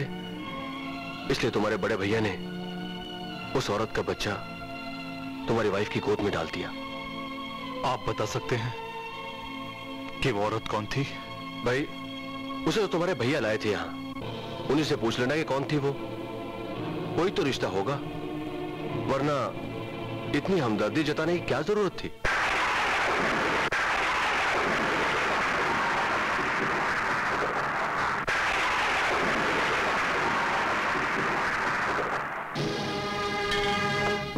उसे तो तुम्हारे भैया लाए थे यहाँ। उन्हीं से पूछ लेना कि कौन थी वो।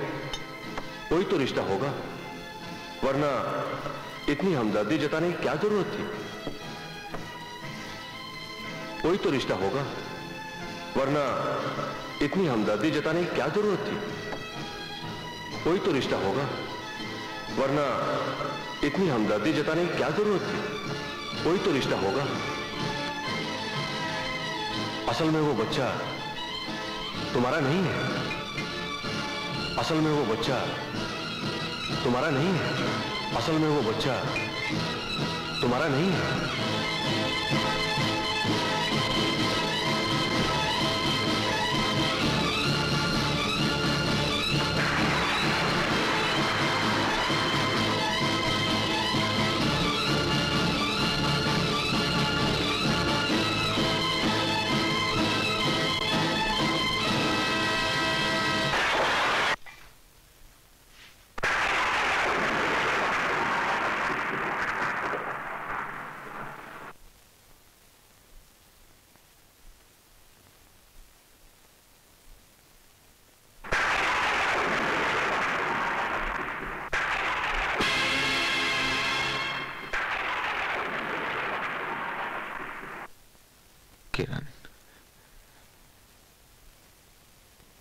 आज फिर शराब पी के आया है। हाँ।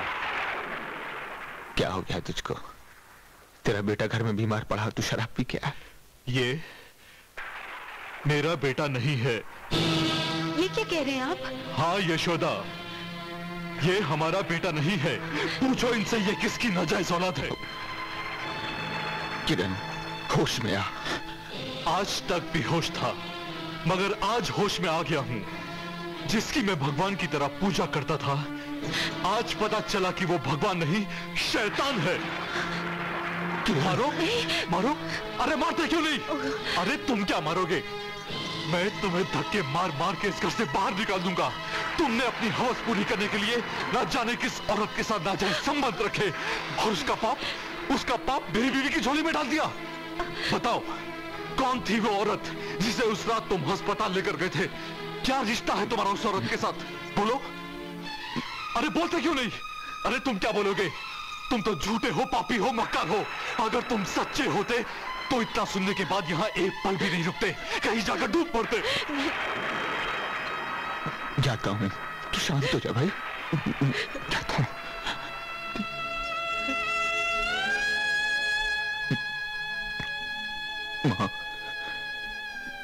लगता है मुझसे कोई भूल होगी माँ। मैं तेरे स्वर्ग जैसे घर को नज़र लग गई। मुझे माफ़ कर देना माँ। मुझे माफ़ कर देना।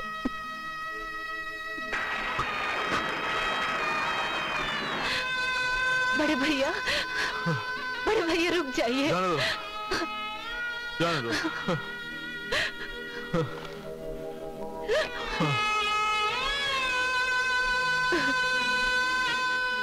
भाभी? ये सब क्या है और बड़े भैया कहाँ?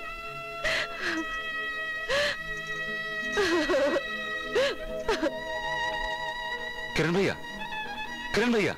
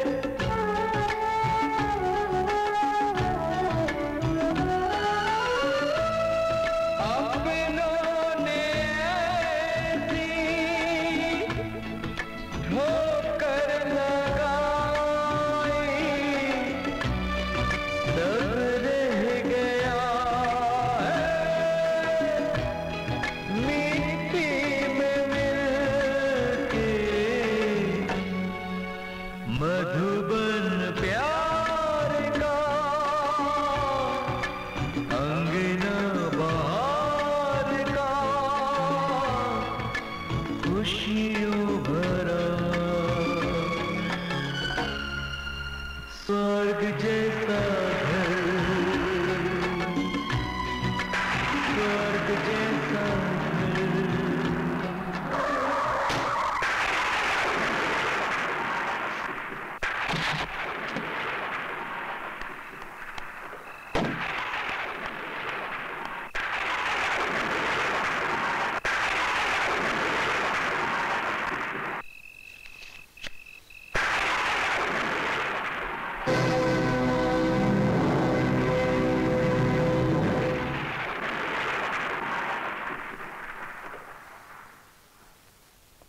डरने की कोई बात नहीं है, मैडम। थोड़ी देर में होश आ जाएगा। फिर भी अगर कोई ऐसी वैसी बात हो तो मुझे टेलीफोन कर दीजिएगा। अच्छा तो मैं चलता हूँ। थैंक यू डॉक्टर साहब।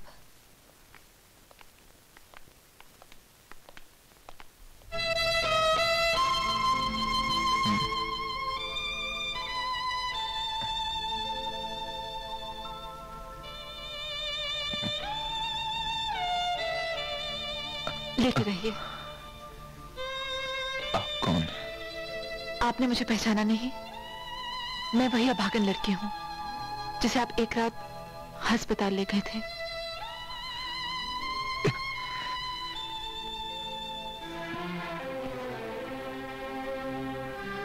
वहाँ तुमने एक बच्चे को जन्म दिया था। उस बच्चे को छोड़कर चली गई थी। क्यों? क्यों छोड़कर चली गई थी? क्या करती? बहुत मजबूर थी। नाजायज औलाद को लेकर कहाँ कहाँ भटकती मैं।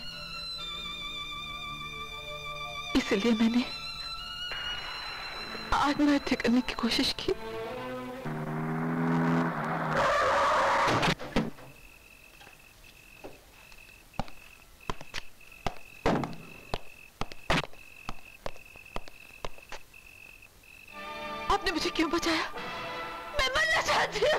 क्यों मरना चाहती हो बेटी?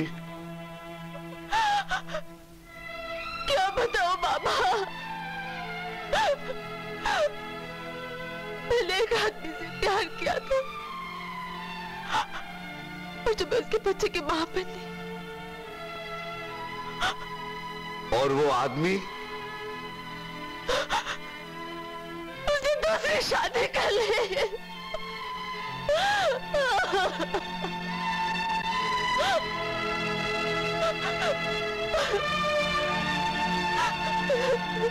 ऐसे मक्कार और बुजदल आदमी से बदला लेने के लिए तुम्हें ज़िंदा रहना होगा। क्योंकि मेरी भी एक बेटी थी। उसकी कहानी और तुम्हारी कहानी बिल्कुल मिलती जुलती है। उसने आत्महत्या कर ली। लेकिन मैं तुम्हें मरने नहीं दूँगा। अपनी सारी दौलत तुम्हारे नाम कर दूँगा। लेकिन तुम्हें उस आदमी से बदला लेना होगा। बदला लेना होगा। बदला लेना होगा। और इस तरह मैं बच गई। लाखों की दौलत की मालकिन बन गई। मगर मेरे दिल में बदले की भावना आग की तरह दहकने लगी। तुमने उस आदमी से बदला ले लिया। ले रही हूँ। मैं उसे तड़पा तड़पा के मारूँगी। कौन है वो आदमी? उसका नाम किरण है।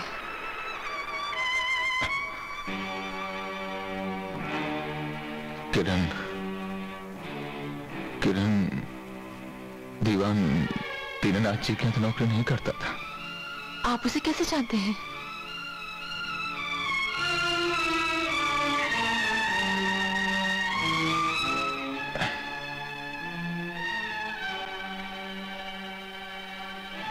उसका कोई दोष नहीं है। तुम्हारा गुनहगार मैं हूँ। आप?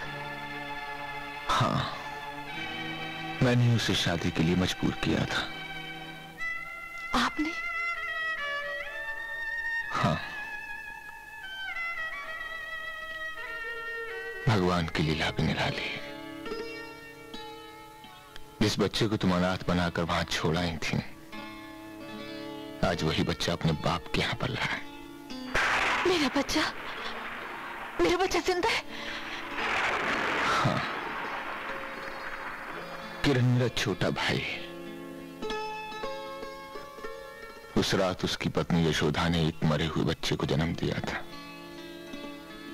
होश में आने के बाद उसे सदमा न पहुँचे।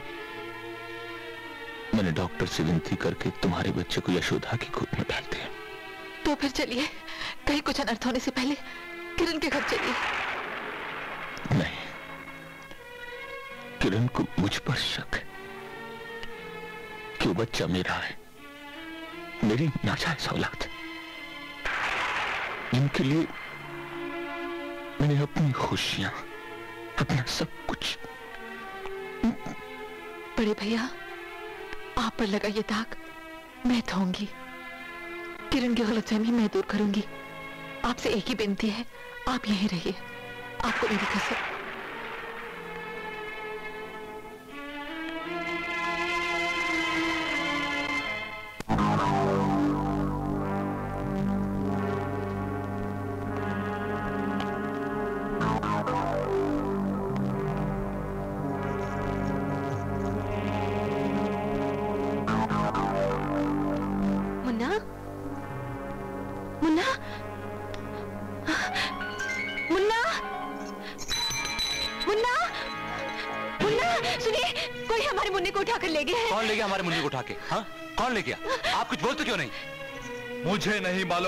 मालूम करना भी नहीं चाहता। अगर आप मालूम करना नहीं चाहते तो मैं मालूम करके आता हूँ। देखिए ऐसे कठोर मत बनिए। बच्चा माँ के बगैर नहीं रह सकता। वो हमारा बच्चा नहीं है। न जाने किस बच्चलन औरत का पाप है वो। वो बच्चन औरत मैं हूँ देवकी जी तुम?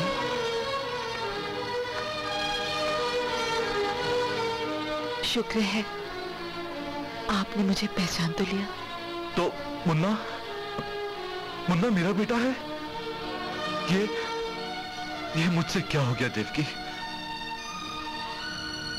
देवकी, भगवान जानता है, मेरी मजबूरियों ने मुझे तुम्हें मुँह दिखाने के लायक नहीं छोड़ा। मुझे मुँह, जो चाहे सजा दे लो। जानती हो, जब मैं तुम्हें गाँव छोड़कर आया तो जानती हूँ। बड़े भैया ने मुझे सब कुछ बता दिया है। उस रात मुन्ने को अस्पताल में अनाथ आश्रम के लिए छोड़कर मैं आत्महत्या करने के लिए चली गई थी। मगर भगवान ने मेरी किस्मत में और दुख लिखे थे। इसलिए मैं मर भी न सकी। बस देवकी बस मुझे माफ़ कर दो। हमारे मुन्ने को कोई बदमाश उठा कर ले गया है। मैं मुन्ना और भैया को लेने जा रहा हूँ। ठहरो कहीं जाने की ज़रूरत नहीं है। तुम्हारे बड़े भैया मेरे घर में हैं और मुन्ना भी वहीं आता होगा। देवकी मैं तुम्हारे साथ चलूँगा। नहीं किरण इस वक्त मुनासिब नहीं है। बात बिगड़ भी सकती है। आप सोच क्या रहे हैं? मुन्नी को लेने नहीं जाएँगे? हेलो? हाँ मैं शर्मा बोल रहा हूँ देवकी जी। काम हो गया? शर्मा जिस काम में एक हाथ डालता है वो पूरा हो जाता है। इस काम में तो मैंने दोनों हाथ डाले थे। काम सोलह आने हो गया है। तो कहाँ है वो बच्चा? उसे जल्दी ले आओ। हाँ हाँ खिलौना खिलौना शीशे का खिलौना इस वक्त वो खिलौना मेरे हाथ में है। और मैं एक बिल्डिंग के बीसवें माले पर हूँ। कुछ समझी? देखो शर्मा पचास हज़ार रुपए मैं तुम्हें दे चुकी हूँ। बाकी के डेढ़ लाख रुपए तुम यहाँ आके ले जाओ। बच्चे का मुझ तक पहुँचना बहुत ज़रूरी है। जानता हूँ जानता हूँ। एक बच्चे का अपनी असली माँ तक पहुँचना बहुत ज़रूरी है। पचास हज़ार रुपया बच्चे को उठाने का और डेढ़ लाख रुपया उस बच्चे को तुम तक पहुँचाने का था। लेकिन ये उस वक्त तक थे जब तक ये बच्चा किरण का था। अब ये बच्चा एक करोड़पति औरत देवकी जी का है। शीशे का खिलौना अब हीरे का बन चुका है। सुनो, आज शाम ठीक चार बजे, एक ब्रीफ केस में 20 लाख रुपया डालकर अहमदनगर रोड पे आ जाना। पुलिस की मदद मांगने की कोशिश मत करना, वरना तुम्हारे जिगर के टुकड़े के टुकड़े टुकड़े कर दूँगा। नहीं, शर्मा, भगवान के लिए ऐसे मत करना। जो तुम कहते हो वही करूँगी मैं। अकेली आऊँगी। जितने पैसे तुम्हें चाहिए सब मिल जाएँगे। गुड गुड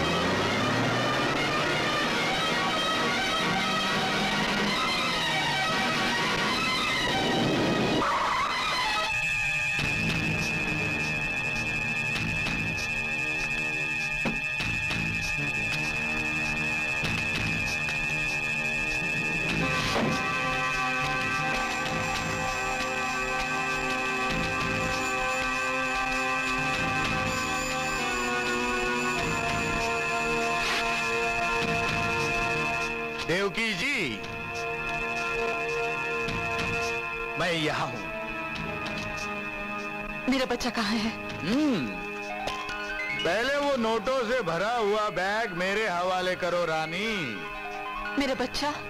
बच्चा।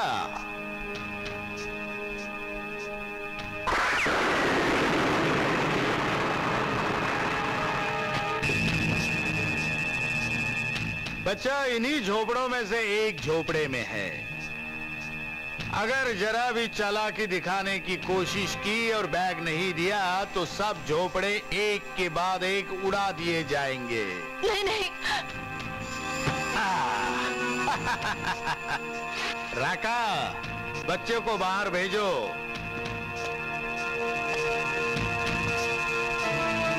नमस्ते मैडम जी। लेकिन मेरा बच्चा। वो बैग हमारे हवाले कर दो बच्चा खुद ब खुद ही बाहर आ जाएगा। ए ये क्या बदतमीजी है? ये बदतमीजी नहीं है हुजूर। नाम है हमरा राका और हम कहीं भी डाल देते हैं डाका। आज तुम्हारा नंबर है। वो पिस्तौल खाली है। देखते कहो, खाली है। पर इसमें छह गोली है। हमने कहा ना, नाम है हमरा राका। वो बैग लाओ, जल्दी से, नहीं तो खोपड़िया में छह होल बना देंगे।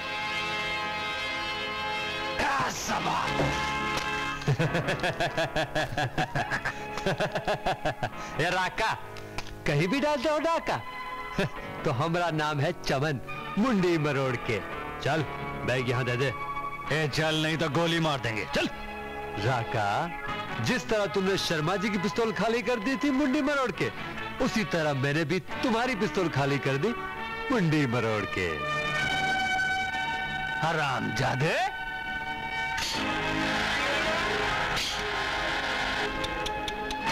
गोलियाँ नहीं है। ला, बैग ला। जल्दी ला। अरे नाम है हमरा राका और डालेगा हम पे ये भूतिया डाका।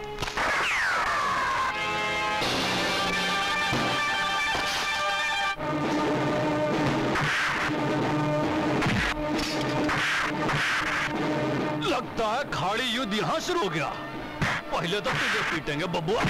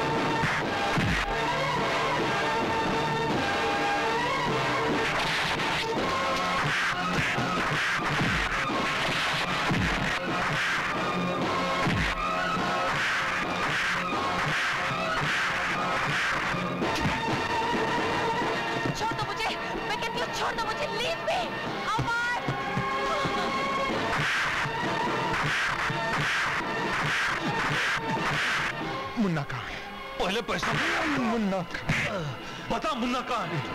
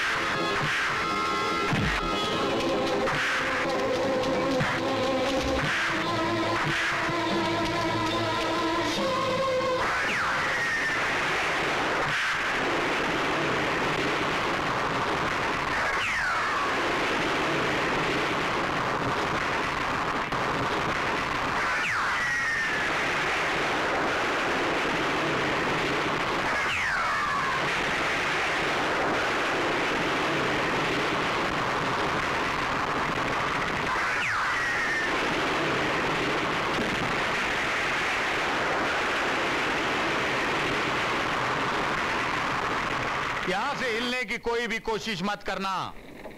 वरना दांत खराब तो तंदुरुस्ती खराब। और गोली चली तो सबकी ज़िंदगी खराब।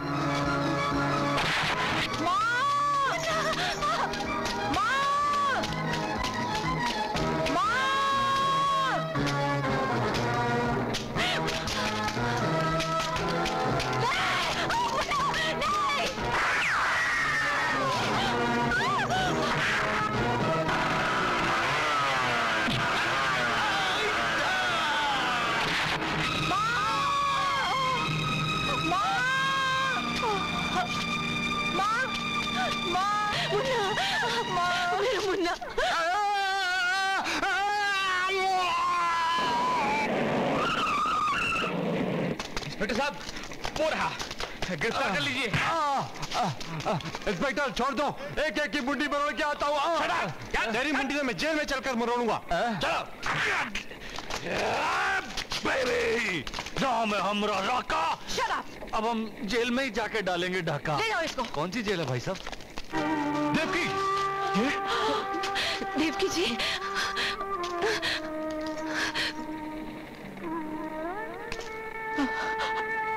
इसे जल्दी से अस्पताल ले चलो भाई।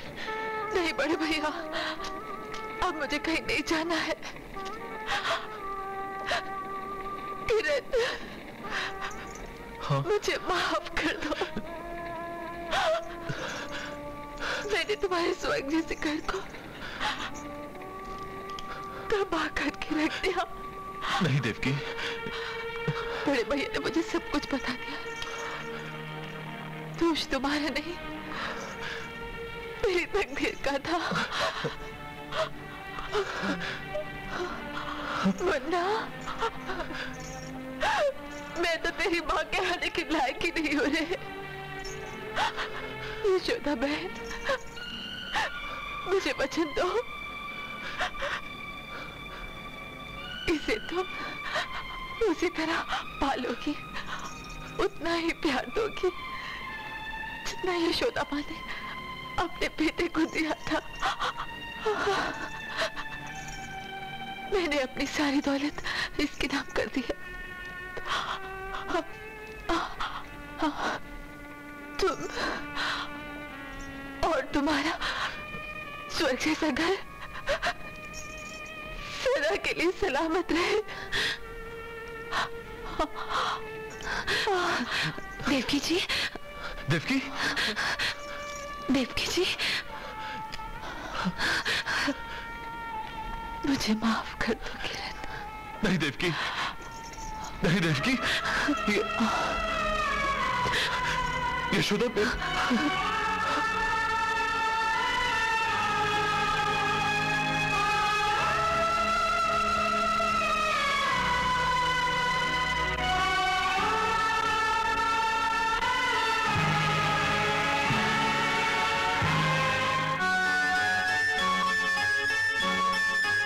मधुबन प्यार का अंगना बार का खुशियों भरा। स्वर्ग जैसा